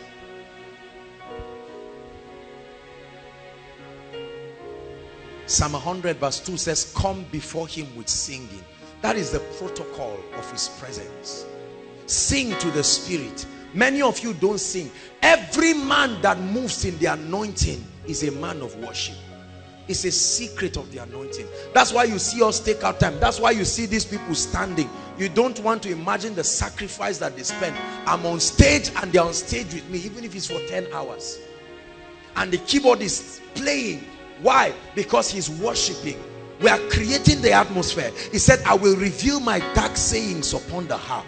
The prophet knew this. And so he said bring me a minstrel I need, I cannot talk. I need to bring, because the Holy Spirit was not resident in them. He would come and he said there is a technology in the spirit that invokes his presence. That's what we do during our traditional festivals. You see some people who just tie some things around and they come and they are dancing and singing for hours like fools. And when the spirit they are calling finally arrives, you will know it has arrived. Confusion, accidents, all sorts of things. Registering his presence. I'm here. You ask for it. In India, many of you have watched them. They blow flutes and they sing and those serpents begin to come out. And people come to watch. Music is a law of spiritual operation. It's not just a principle. That's why when you listen to all these classical musics, orchestras, you know, and, and all this contemporary worship, they do something to your spirit. I have a bad voice, so what? You are not presenting a special number. It's called the secret place. Even if you are not called into the ministry of worship, God is not complaining. He loves it the way it is. Sing any song. Compose your own song. Hallelujah. Have you seen a lady in love and the guy say, I want to sing for you? Because his friend said, that's what I did. And the guy is not a good musician. He doesn't even know that the key he's taking is not even the key of the right song. He's mixing words. He's just singing all sorts of songs. And because the lady loves, she's saying, wow, you mean you learned this song today? And the guy is saying, you cannot imagine the days of rehearsal. And he's making all sorts of mistakes. Listen, I'm showing you something about some of you. It has happened to you. That's why you're laughing. You are seeing how this guy is doing his best. He's even closing his eyes. He's communicating his passion. On a very good day, you'd have gotten up to work, but you appreciate. That's how the Holy Ghost is. He's not complaining. He's not complaining. We can tell you here that your voice is not good, but when you are in the sea, go off key, go up, go down, sing bass, sing anything. It's you and him. It's called koinonia. There are not many people invited. He, not them that dwell in the secret. The secret place is not a congregation. It's a place where you meet. It's a love affair. It's an intercourse. It's called koinonia. Dance with me. Remember our song?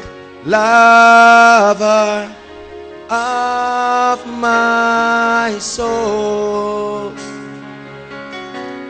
to the song of all songs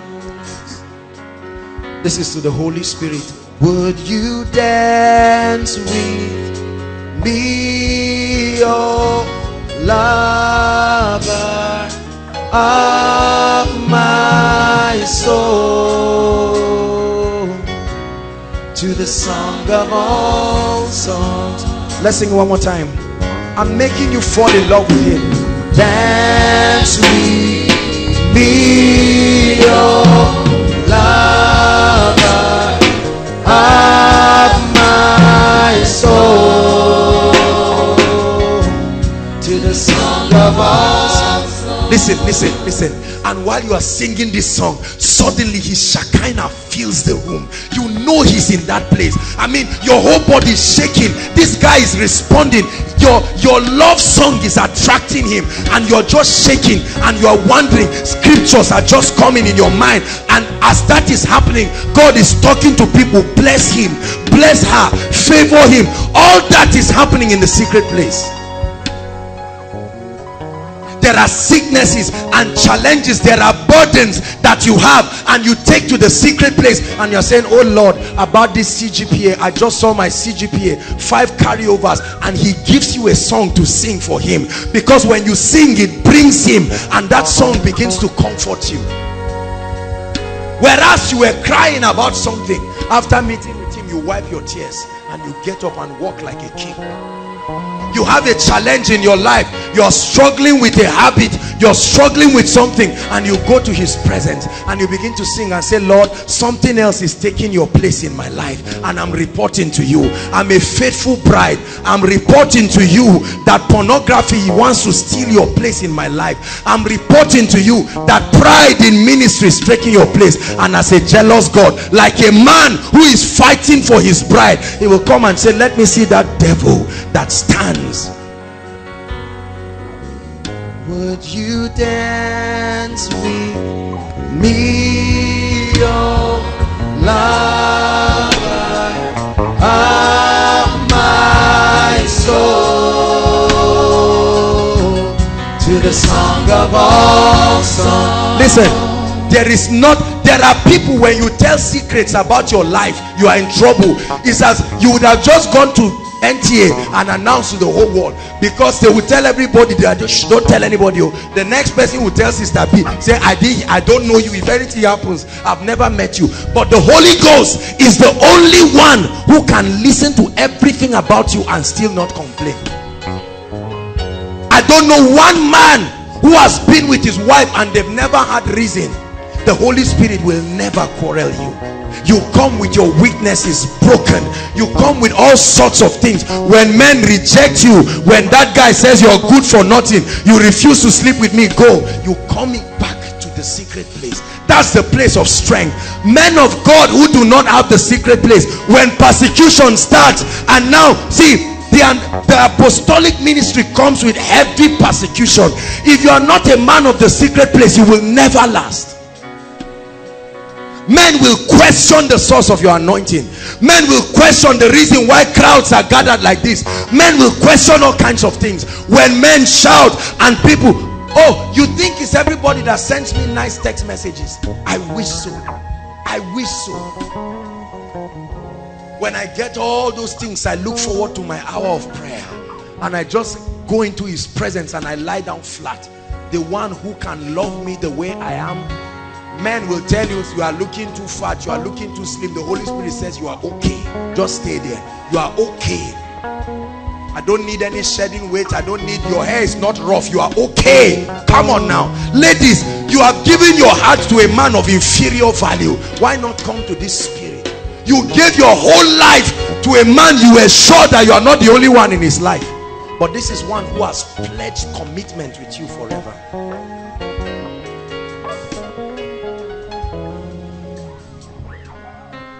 you never know what true love is until you meet the Holy Spirit. When you meet the Holy Spirit you start searching for a man that can give you the same effect in your secret place. And if you don't find it you don't say yes to him. So when one brother comes because he likes you he now wears suit and comes for koinonia when he's talking to you you are looking for that spiritual effect that cannot be faked. And you say my brother you talk like you're a christian but i don't see that signature meaning you are not a man of the secret place. Hallelujah. Worship. Do you do you spend time? I'm telling you when i'm in the presence of god I'm not Apostle Joshua Selman. I throw away all of those things and I roll before him and I cry like a baby. And this is how I prepare for meetings. Brothers and sisters, this is how I prepare for meetings. I talk to the Lord and I say, Lord, Friday is miracle service and so many people are coming right now and I cannot help them. I'm, I'm but a young man. There are so many expectations on me and I hear the Spirit of God telling me, don't worry, we'll go together. We'll do this. That's why when I sit down in my mind i'm saying okay holy spirit worship team is now ministering. We're ready to go. And i can just feel him saying go. Go! Go and do it. Prove to the people that you are not alone. Ah! And has he left me? Not once. Many guys will run away from you when the going gets tough. Is that true? I remember a guy who was making noise about a lady. I will marry her. He found out that she had a problem with bedwetting. And it was a demonic problem the lady was a very responsible and godly lady. It's just that it had been there for a while. When he found out ah the brother said you know guys i'm busy oh please don't disturb me i'm busy. I'm busy i'm busy i'm busy. And the day this lady came and she cried to me and it pained me because i know the brother. I said such a virtuous lady. So you are already trying to you've not gotten married but there is something about her life you are not proud of and you are now running away. That's the same thing you will do when you get married but the Holy Ghost he will give you a garment you and stain it outside. When you come you see him holding soap already waiting for you. While you are trying to explain he says there's no need. That you came into my presence is a sign that you are not a rebel. To the song of all songs can we sing this song just once as I prepare to round up? Would you dance with me, oh lover soul? To the song of all songs. Would you dance with me, oh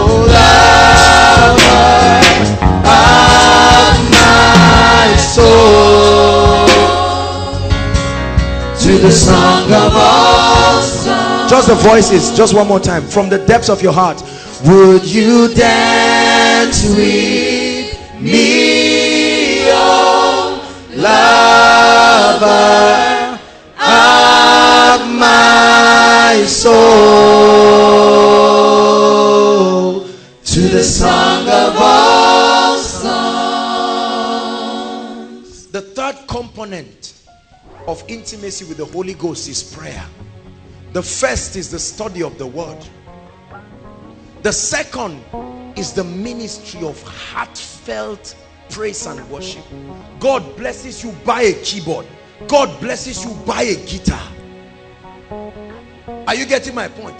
Even if it's only one key, learn it. CFG and the minor. Just sit down and lie down. That's all you know. You are not learning it to sing somewhere one day people will come and listen to you i remember when years ago when i used to be we were three myself steve strings and andy now called ambassage is a gospel musician. Three of us were roommates then in danfodio and we would worship goodness. I was like a madman. Sometimes i would lie down and they used to keep the keyboard of winners campus fellowship then. Then steve was the vice president of winners campus fellowship. So they used to keep the equipment in our room. Praise God and I'll just get on the keyboard and Steve will just take the guitar and you know his fingers those those anointed fingers goodness.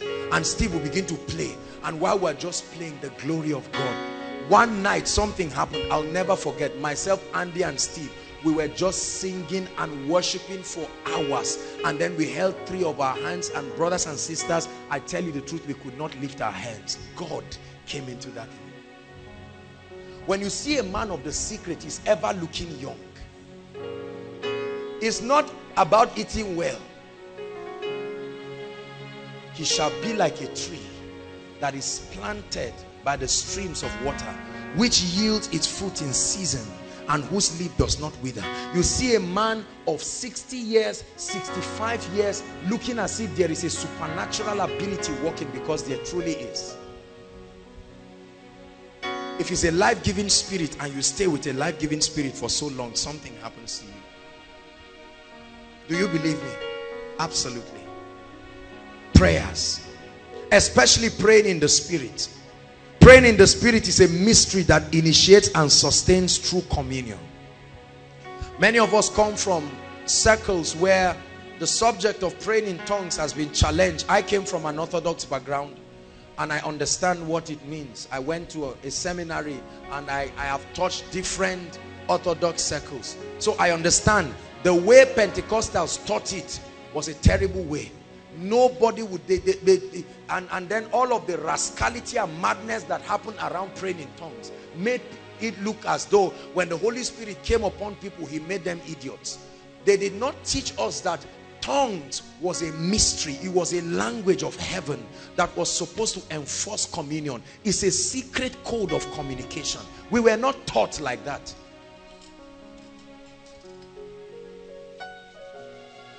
I'll never forget the day they were going to pray for us to be filled with the Holy Ghost I didn't understand anything. The man was teaching, I was feeling like sleeping. The only thing I know is he called two people and he told one to run on one leg and the other one ran on two legs. And he said, that's it, praying in understanding tongues. That's all I remember. And then we sang one song. Hallelujah, Jehovah reigns. Hallelujah, Jehovah reigns. Hallelujah, Jehovah reigns. Give him the glory that he deserves. That's all. And then we got filled with the Holy Ghost. When I started praying in tongues, I was wondering. I said, ah, oh God, I hope I'm not just joining everybody and lying. Maybe they received the real thing. Because some people were falling. Me, I didn't fall. Nothing happened. But I was praying at least. I doubted that thing for days. But I began to see transformation in my life. In JS2, I was made the timekeeper of the whole school. There was a grace in my life that I could not explain. JS2, very small boy. Quarter to five, every day the Holy Ghost would wake me physically. Someone would tap me, quarter to five. Quarter to five. We had a matron called Miss Rhoda. Wonderful woman. She's gone to be with the Lord now. One day, when I woke up, five on the dot, I would ring the bell. She called me and laid hands. She said, you're an exceptional person. I would study just once. I'm serious. And never have to read again. Once. It was supernatural. Then we started one, one prayer evening meeting called Operation Catacruz. we were tired of the nonsense that was happening around. So we, myself and five guys, we were like the apostles of the school. Five of us, very small. We did wonderful things. Wonderful things. One of them was a sickler. He was like our Peter. And all through that time, that, that devil of infirmity left. Oh, we did mighty things. I prayed for people who were stammerers. And all of a sudden, the, stammer, the stammering will leave. I, for us, it was not a big deal. Because nobody taught us that this thing was great. You need honorarium. You're a great man. No. We just did our thing.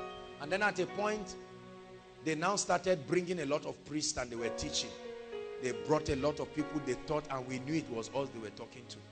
And then eventually, we threw away all these things of God. It was something in my spirit. And when we threw away all those things, it was in less than two months, our leader died. I was with him the final moments in the hospital. His ribs were swollen. That sickness came back, what he was delivered from. They were born triplets. One died. There's only one who is alive now. And I looked at him in the hospital. I told him, don't worry, you'll be fine. Little did I know that that would be the last time because we ignored the ministry of the Holy Spirit. I cried one day, many years, when I realized that that was the reason. We left him. We actually asked him to walk out of our lives. Take your place. Take your place. I will never ask you to walk out of my life. Take your place. Take your place. That gentleman died. Most of the great prayer warriors who were doing great things I tell you, many of them today, some of them are drunkards, some of them are whatever because they preach to us that forget the, you know, the Holy Spirit, blah, blah, blah, blah. Some of you right now, you are at the verge of throwing away. The only thing you have not thrown is praying in tongues. You've thrown every other thing. Prayers. Prayer opens us up to sensitivity it opens us up through sensitivity, sorry, to the promptings and the impulses of the Spirit. The ministry of prayer opens us up, makes us sensitive. You can get more of that on my teaching, Spiritual Perception. Opens your organs of interacting with spiritual things. And then you begin to move in certain operations of the Spirit. The word of knowledge, the knowing of the Spirit, the witness of the spirit all of these things are activated in the place of prayer prayer empowers us to hear his voice the bible says while they prayed while they prayed the holy ghost spoke to them not while they sat down while they prayed the holy ghost spoke to them. He said separate me paul and barnabas. While they prayed. Let's hurry up. Number four. Corporate fellowship with the brethren. Components that bring intimacy or components of true fellowship. Corporate fellowship with the brethren. Very important.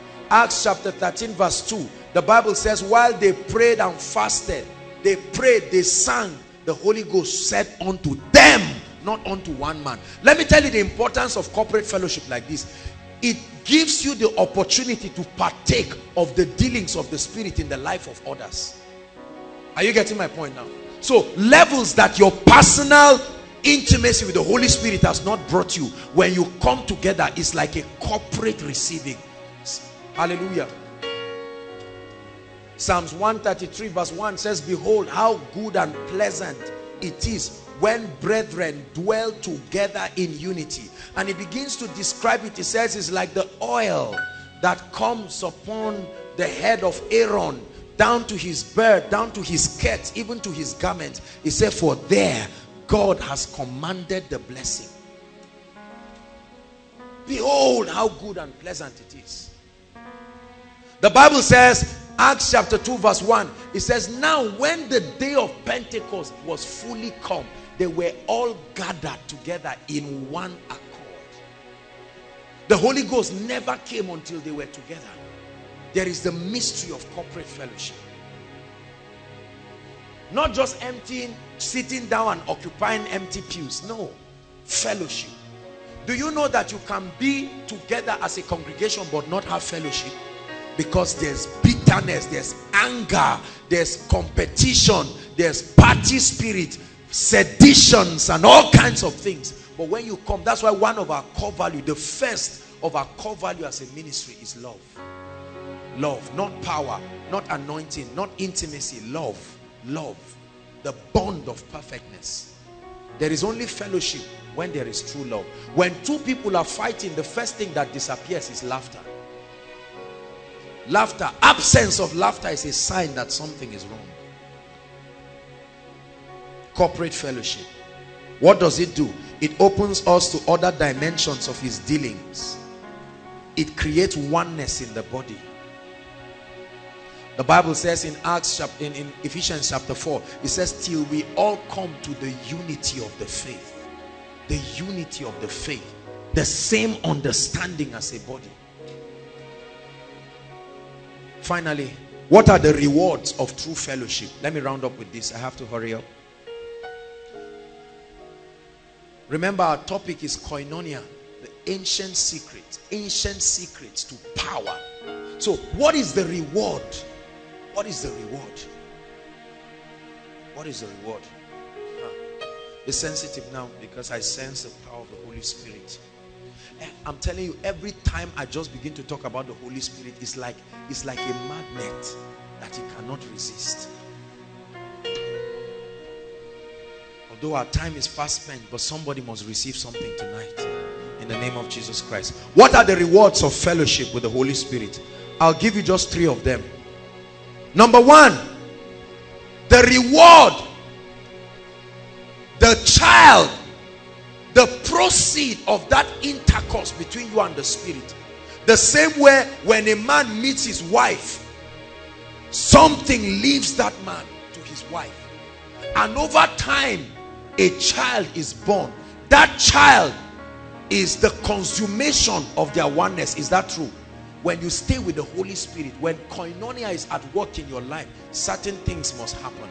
Number one, authentic spiritual power. Authentic spiritual power. I said authentic because there are all kinds of things, all kinds of things right now. Authentic spiritual power.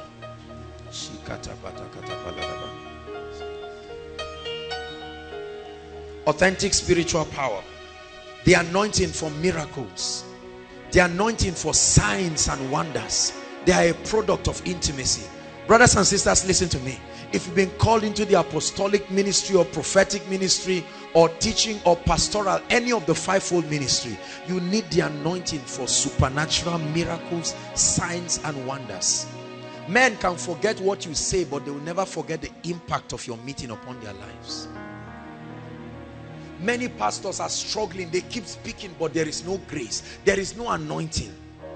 There is no authentic anointing. I'm not talking about laying hands on people. That your words, they do something to the physical bodies of those listening. They do something to their minds. the words do something. The bible says and the lord walking with them confirming the words. Said the spirit of the lord is upon me because he has anointed me. He has smeared me with oil. Where did that happen? In the in the secret place.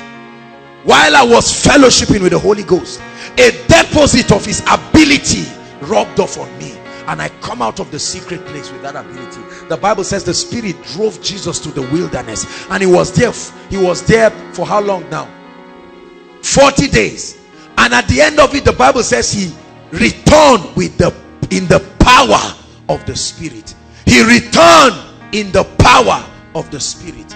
He returned in the power of the Spirit. You want to see authentic. You want to see the anointing of the Spirit. Brothers and sisters i believe in impartation from men of god but the holy spirit is the greatest custodian of the anointing. You stay with him you have the anointing without measure. Dimensions of his anointing comes upon your life. Brothers and sisters listen. It has nothing i don't care how weak you are right now if you stay with the holy ghost. Man woman boy girl including the little ones you will contact something that is tangible the world may criticize you, but they cannot deny what is at work in your life. You are the power in me. You are the fire at work. When you see mighty works, there is an anointing. You are my ever-present helper. Holy Spirit. Ah, yeah. And he anoints you so an ordinary man, brothers and sisters, an ordinary timid Joshua Selman, when his anointing comes upon you. Look at Samson. He was a man who was weak. But when the anointing came upon him, he did mighty things. And men will look at you. They will see small you. But there is big Jesus. There is big Holy Spirit. So men will invite you for meetings. Thousands of people. And when you walk through and see those wheelchairs and those blind eyes you know that it's not just about talking nonsense. It's either it is there or not. And you stretch your hands and you speak and say in the name of the Lord Jesus blind eyes open and you are hearing people shouting I can see and you are flattered yourself because you know that you are not the custodian of this. This is what happens in koinonia. He blesses us with his presence and so we can command devils to go and they must leave. And we can command sicknesses to go. And we can speak to blood conditions and change them. And we can speak to situations and alter destinies. A dear lady of ours wrote her exams and her WAEC. And, and when the results came out, you know, she was so excited. Sent me a text yesterday. I met with her briefly today and this lady just nailed it on point. I mean i looked i said goodness this is great. The holy ghost can take a weak person. Mary said how shall these things be? Oh lord how will i have an international ministry as weak as i am? How can this guitar produce an international ministry oh lord is it true that one day i will stand before the nations and god is saying do not underestimate the power of the anointing upon the life of a man. They will pay you. They will lodge you in hotels and you are there wondering oh god no there is this treasure. You are an earthen vessel but there is a treasure. The only way to take advantage of it is to carry you along because it's in you. Same power that conquered the grave lives in me lives in me oh i'm anointed say i'm anointed your love that rescued the earth lives in me. Listen, brothers and sisters, it's on the strength of the secret place that we can tell you you will never go back the same. You see that? That is what is responsible. Many of you came here probably for the first time. You just said, let's come and see what happened. And you came and you encountered the anointing of the Spirit. If you are a preacher in this place, stop doing ministry without the anointing. You're going to fight everybody around you because of anger. You will hate everybody around you because of competition and intimidation. Many preachers are angry with anointed people today because they, they are unwilling to subscribe to the terms of authentic power. It happens once in a while. It just happens by magic. And then when they see this happen in the lives of people, especially when the person is a young man, because it's not an issue of age, whoever can pay that price. The power that truly brings revival and transformation. Brothers and sisters, is one thing to gather people, but it's another thing for their lives to be changed. There are many churches that the lives of the members are not being changed. Can I tell you the truth? I know that crowd is not an ultimate basis to measure growth and impact. But let me tell you sincerely, when people are being changed, they will come again and again and camp there. That this guy was an armed robber. He was a bad person, an occultist. All of a sudden, he comes to Koinonia for three or four weeks. There are so many people, especially many of the leaders and the workers today. By the grace of God, I know how these people were when they came. Some of them were cultists. Some of them were all sorts of people. But the power of the Spirit. As a minister, when people come to your congregation, you don't screen them and throw the bad ones. There are no bad eggs in the house of God. Because his anointing can change any man. So a man comes who is stubborn. They say, we have tried and tried. And they say, no, not when the authentic power of God comes. You can handle any congregation. As a pastor, they can post you anywhere and it does not matter. They post you to a church of 10 members. In one year, is an avalanche. Because of the anointing. He said, it shall come to pass. Isaiah 10, 27. He says, the burden shall be taken from off your neck and the yoke from your shoulders and it shall be destroyed. Not because you went to school not because you can speak english because of the anointing. There's too much talk in the body of christ because there is no anointing. Charles and frances hunter of blessed memory wrote a book. They said that one miracle is worth a thousand words. How true? Authentic anointing Acts chapter 19, 11 and 12. The Bible says, and God wrought special miracles. God wrought special miracles. Not just ordinary miracles. Brothers and sisters, if you walk in extraordinary miracles, the only thing you will go through that is bad is criticism. But the hand of God is like a signature and you write upon the lives of men, he is alive. That's why we will continue doing what we are doing.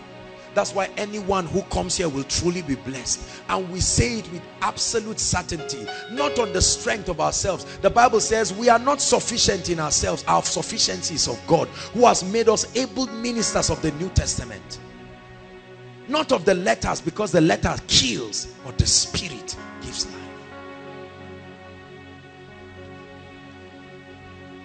Number two, the second reward koinonia is multiplied grace.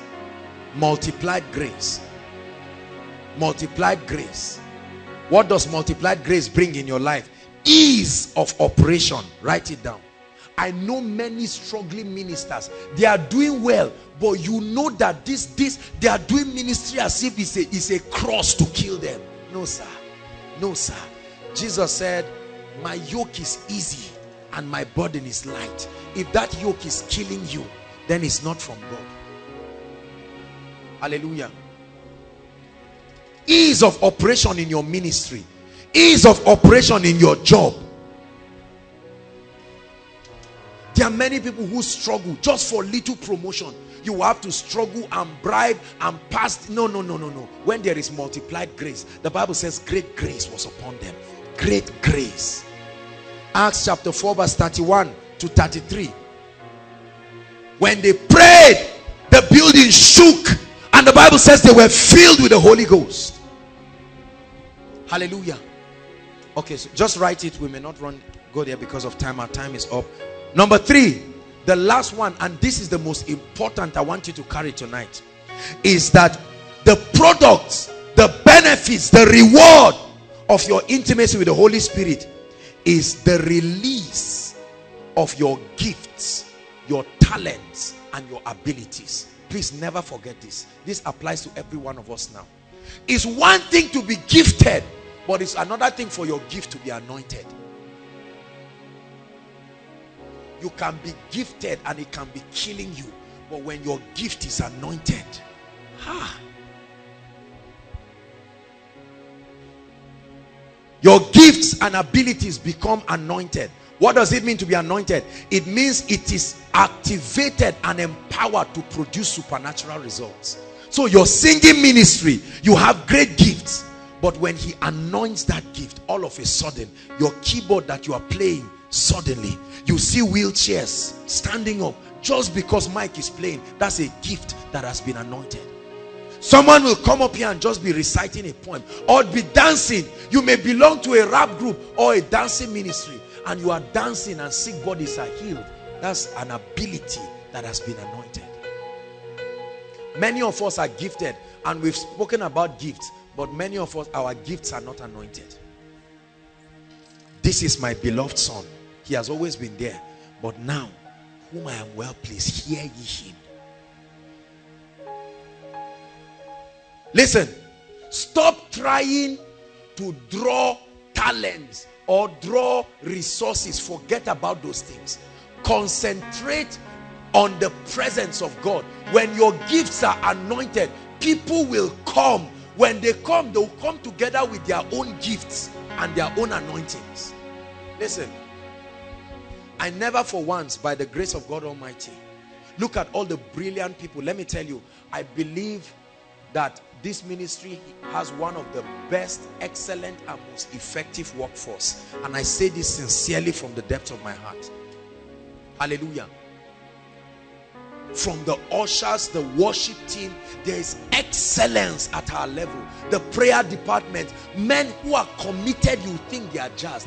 I never, how would I have known them? Are you getting my point? I did not need to worry. When you stay in the secret place, and your gift becomes anointed. Distant shores and the islands will see your light has it right. Yes, you are a billionaire CEO, but until your gift is anointed, you will sit down there. Stay in the secret place. Let your gift, let your business acumen be anointed, and you will do wonders. Sister, your, you have God blessed you with beauty, but it's not anointed. That's why it is trivialized. You stay in the secret place and let it be anointed. The rod of Moses was a great rod, but it was not anointed. When he dropped it in the presence of God, the place of intimacy, God said, now pick up that rod. It's no longer an ordinary rod. He said, with this rod, you will do signs and wonders. Your academics is great, but it has not brought you any blessings because it is not yet anointed.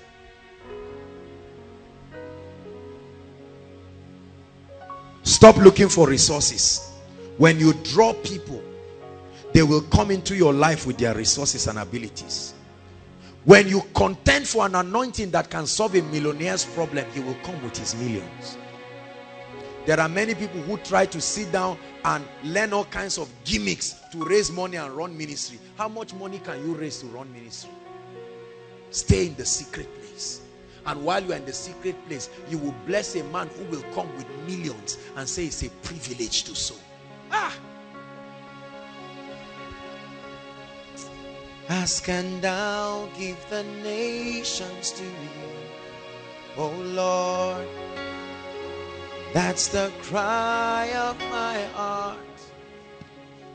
Distant shores and the islands will see. Listen, I'm telling you, days will come when God gives us the vision to start building. And by the grace of God, when this ministry has entered the next season, our job is to remain in the secret place. It will start attracting all sorts of people. They will come from different countries. You watch and see. They will sponsor the TV satellites and the rest. It's not in my ambition for once to think of how it will be done. Your job is have the potentials. Footballers, brothers and sisters, footballers that cannot speak English receive millions of dollars per week because of their gift.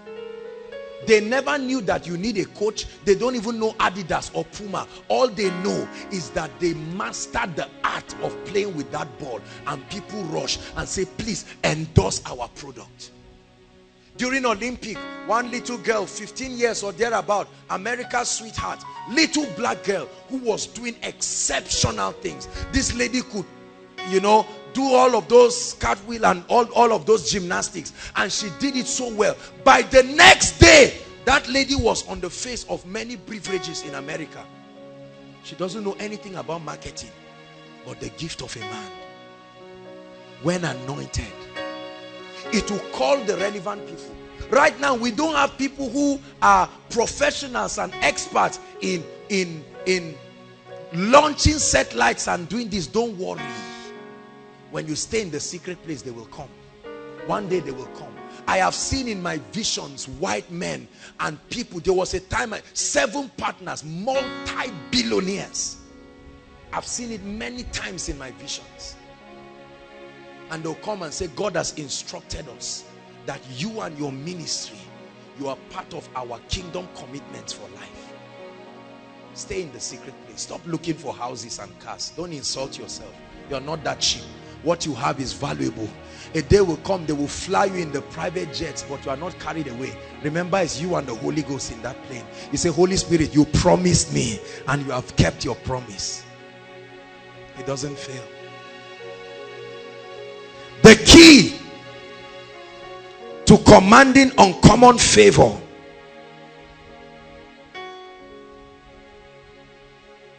is when your gifts are anointed they will draw people from all over. God is speaking to someone here. We're rounding up.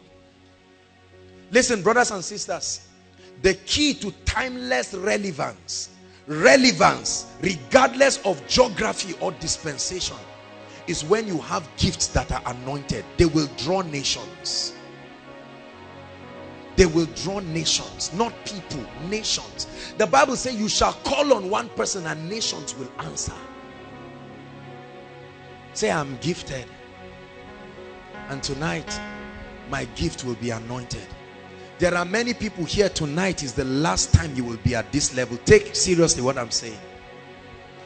When God anoints your singing ministry, you see, if God does not anoint you, the other way is to start begging everybody, please, I have an album, will you buy it? Please, I have this, sponsor me. Sam, help me when you are going for ministration carry me along. You see people passing all kinds of complimentary card i'm an anointed man. Something happened in my meeting. 20 people fell under the anointing. Invite me. That is gift that is not anointed. Because when you are anointed when you are anointed people will love you. He said because of the ointment so do the virgins love you. I know he was talking about relationship but it's a principle. Gentiles will not come to you. They will come to your light They can criticize you, but they will never be able to resist you. You will see, I, I keep sharing it. Did you know that people bless my mother today? People call this woman of God and bless her and sow seeds and do all kinds of things. And that is only the beginning.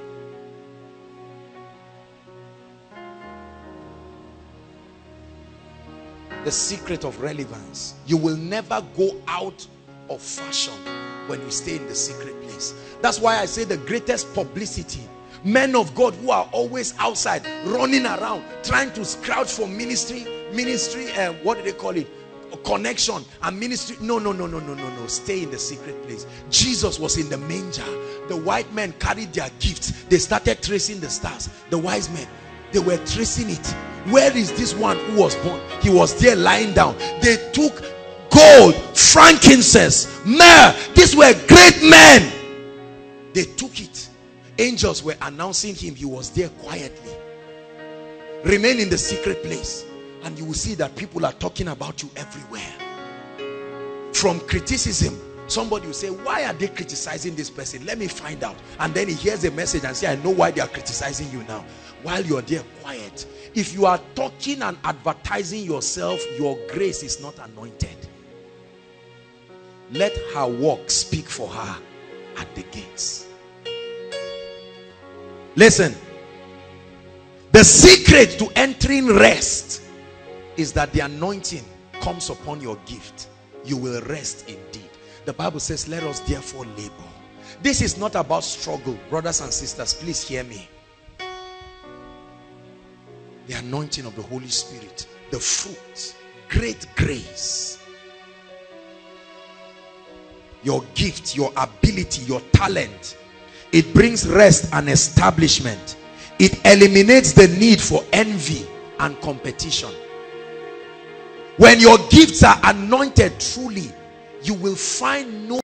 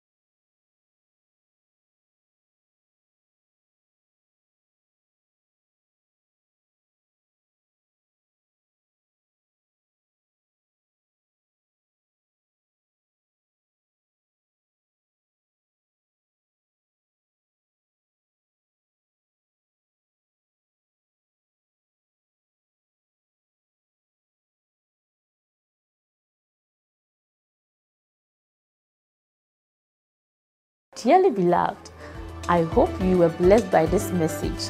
Do not keep the video to yourself. Share to as many as you can to help them bless. Check our homepage for more of our messages. Subscribe to the channel, comment on it, like it. See you on our next video. Bye. Pray, pray, pray for your destiny.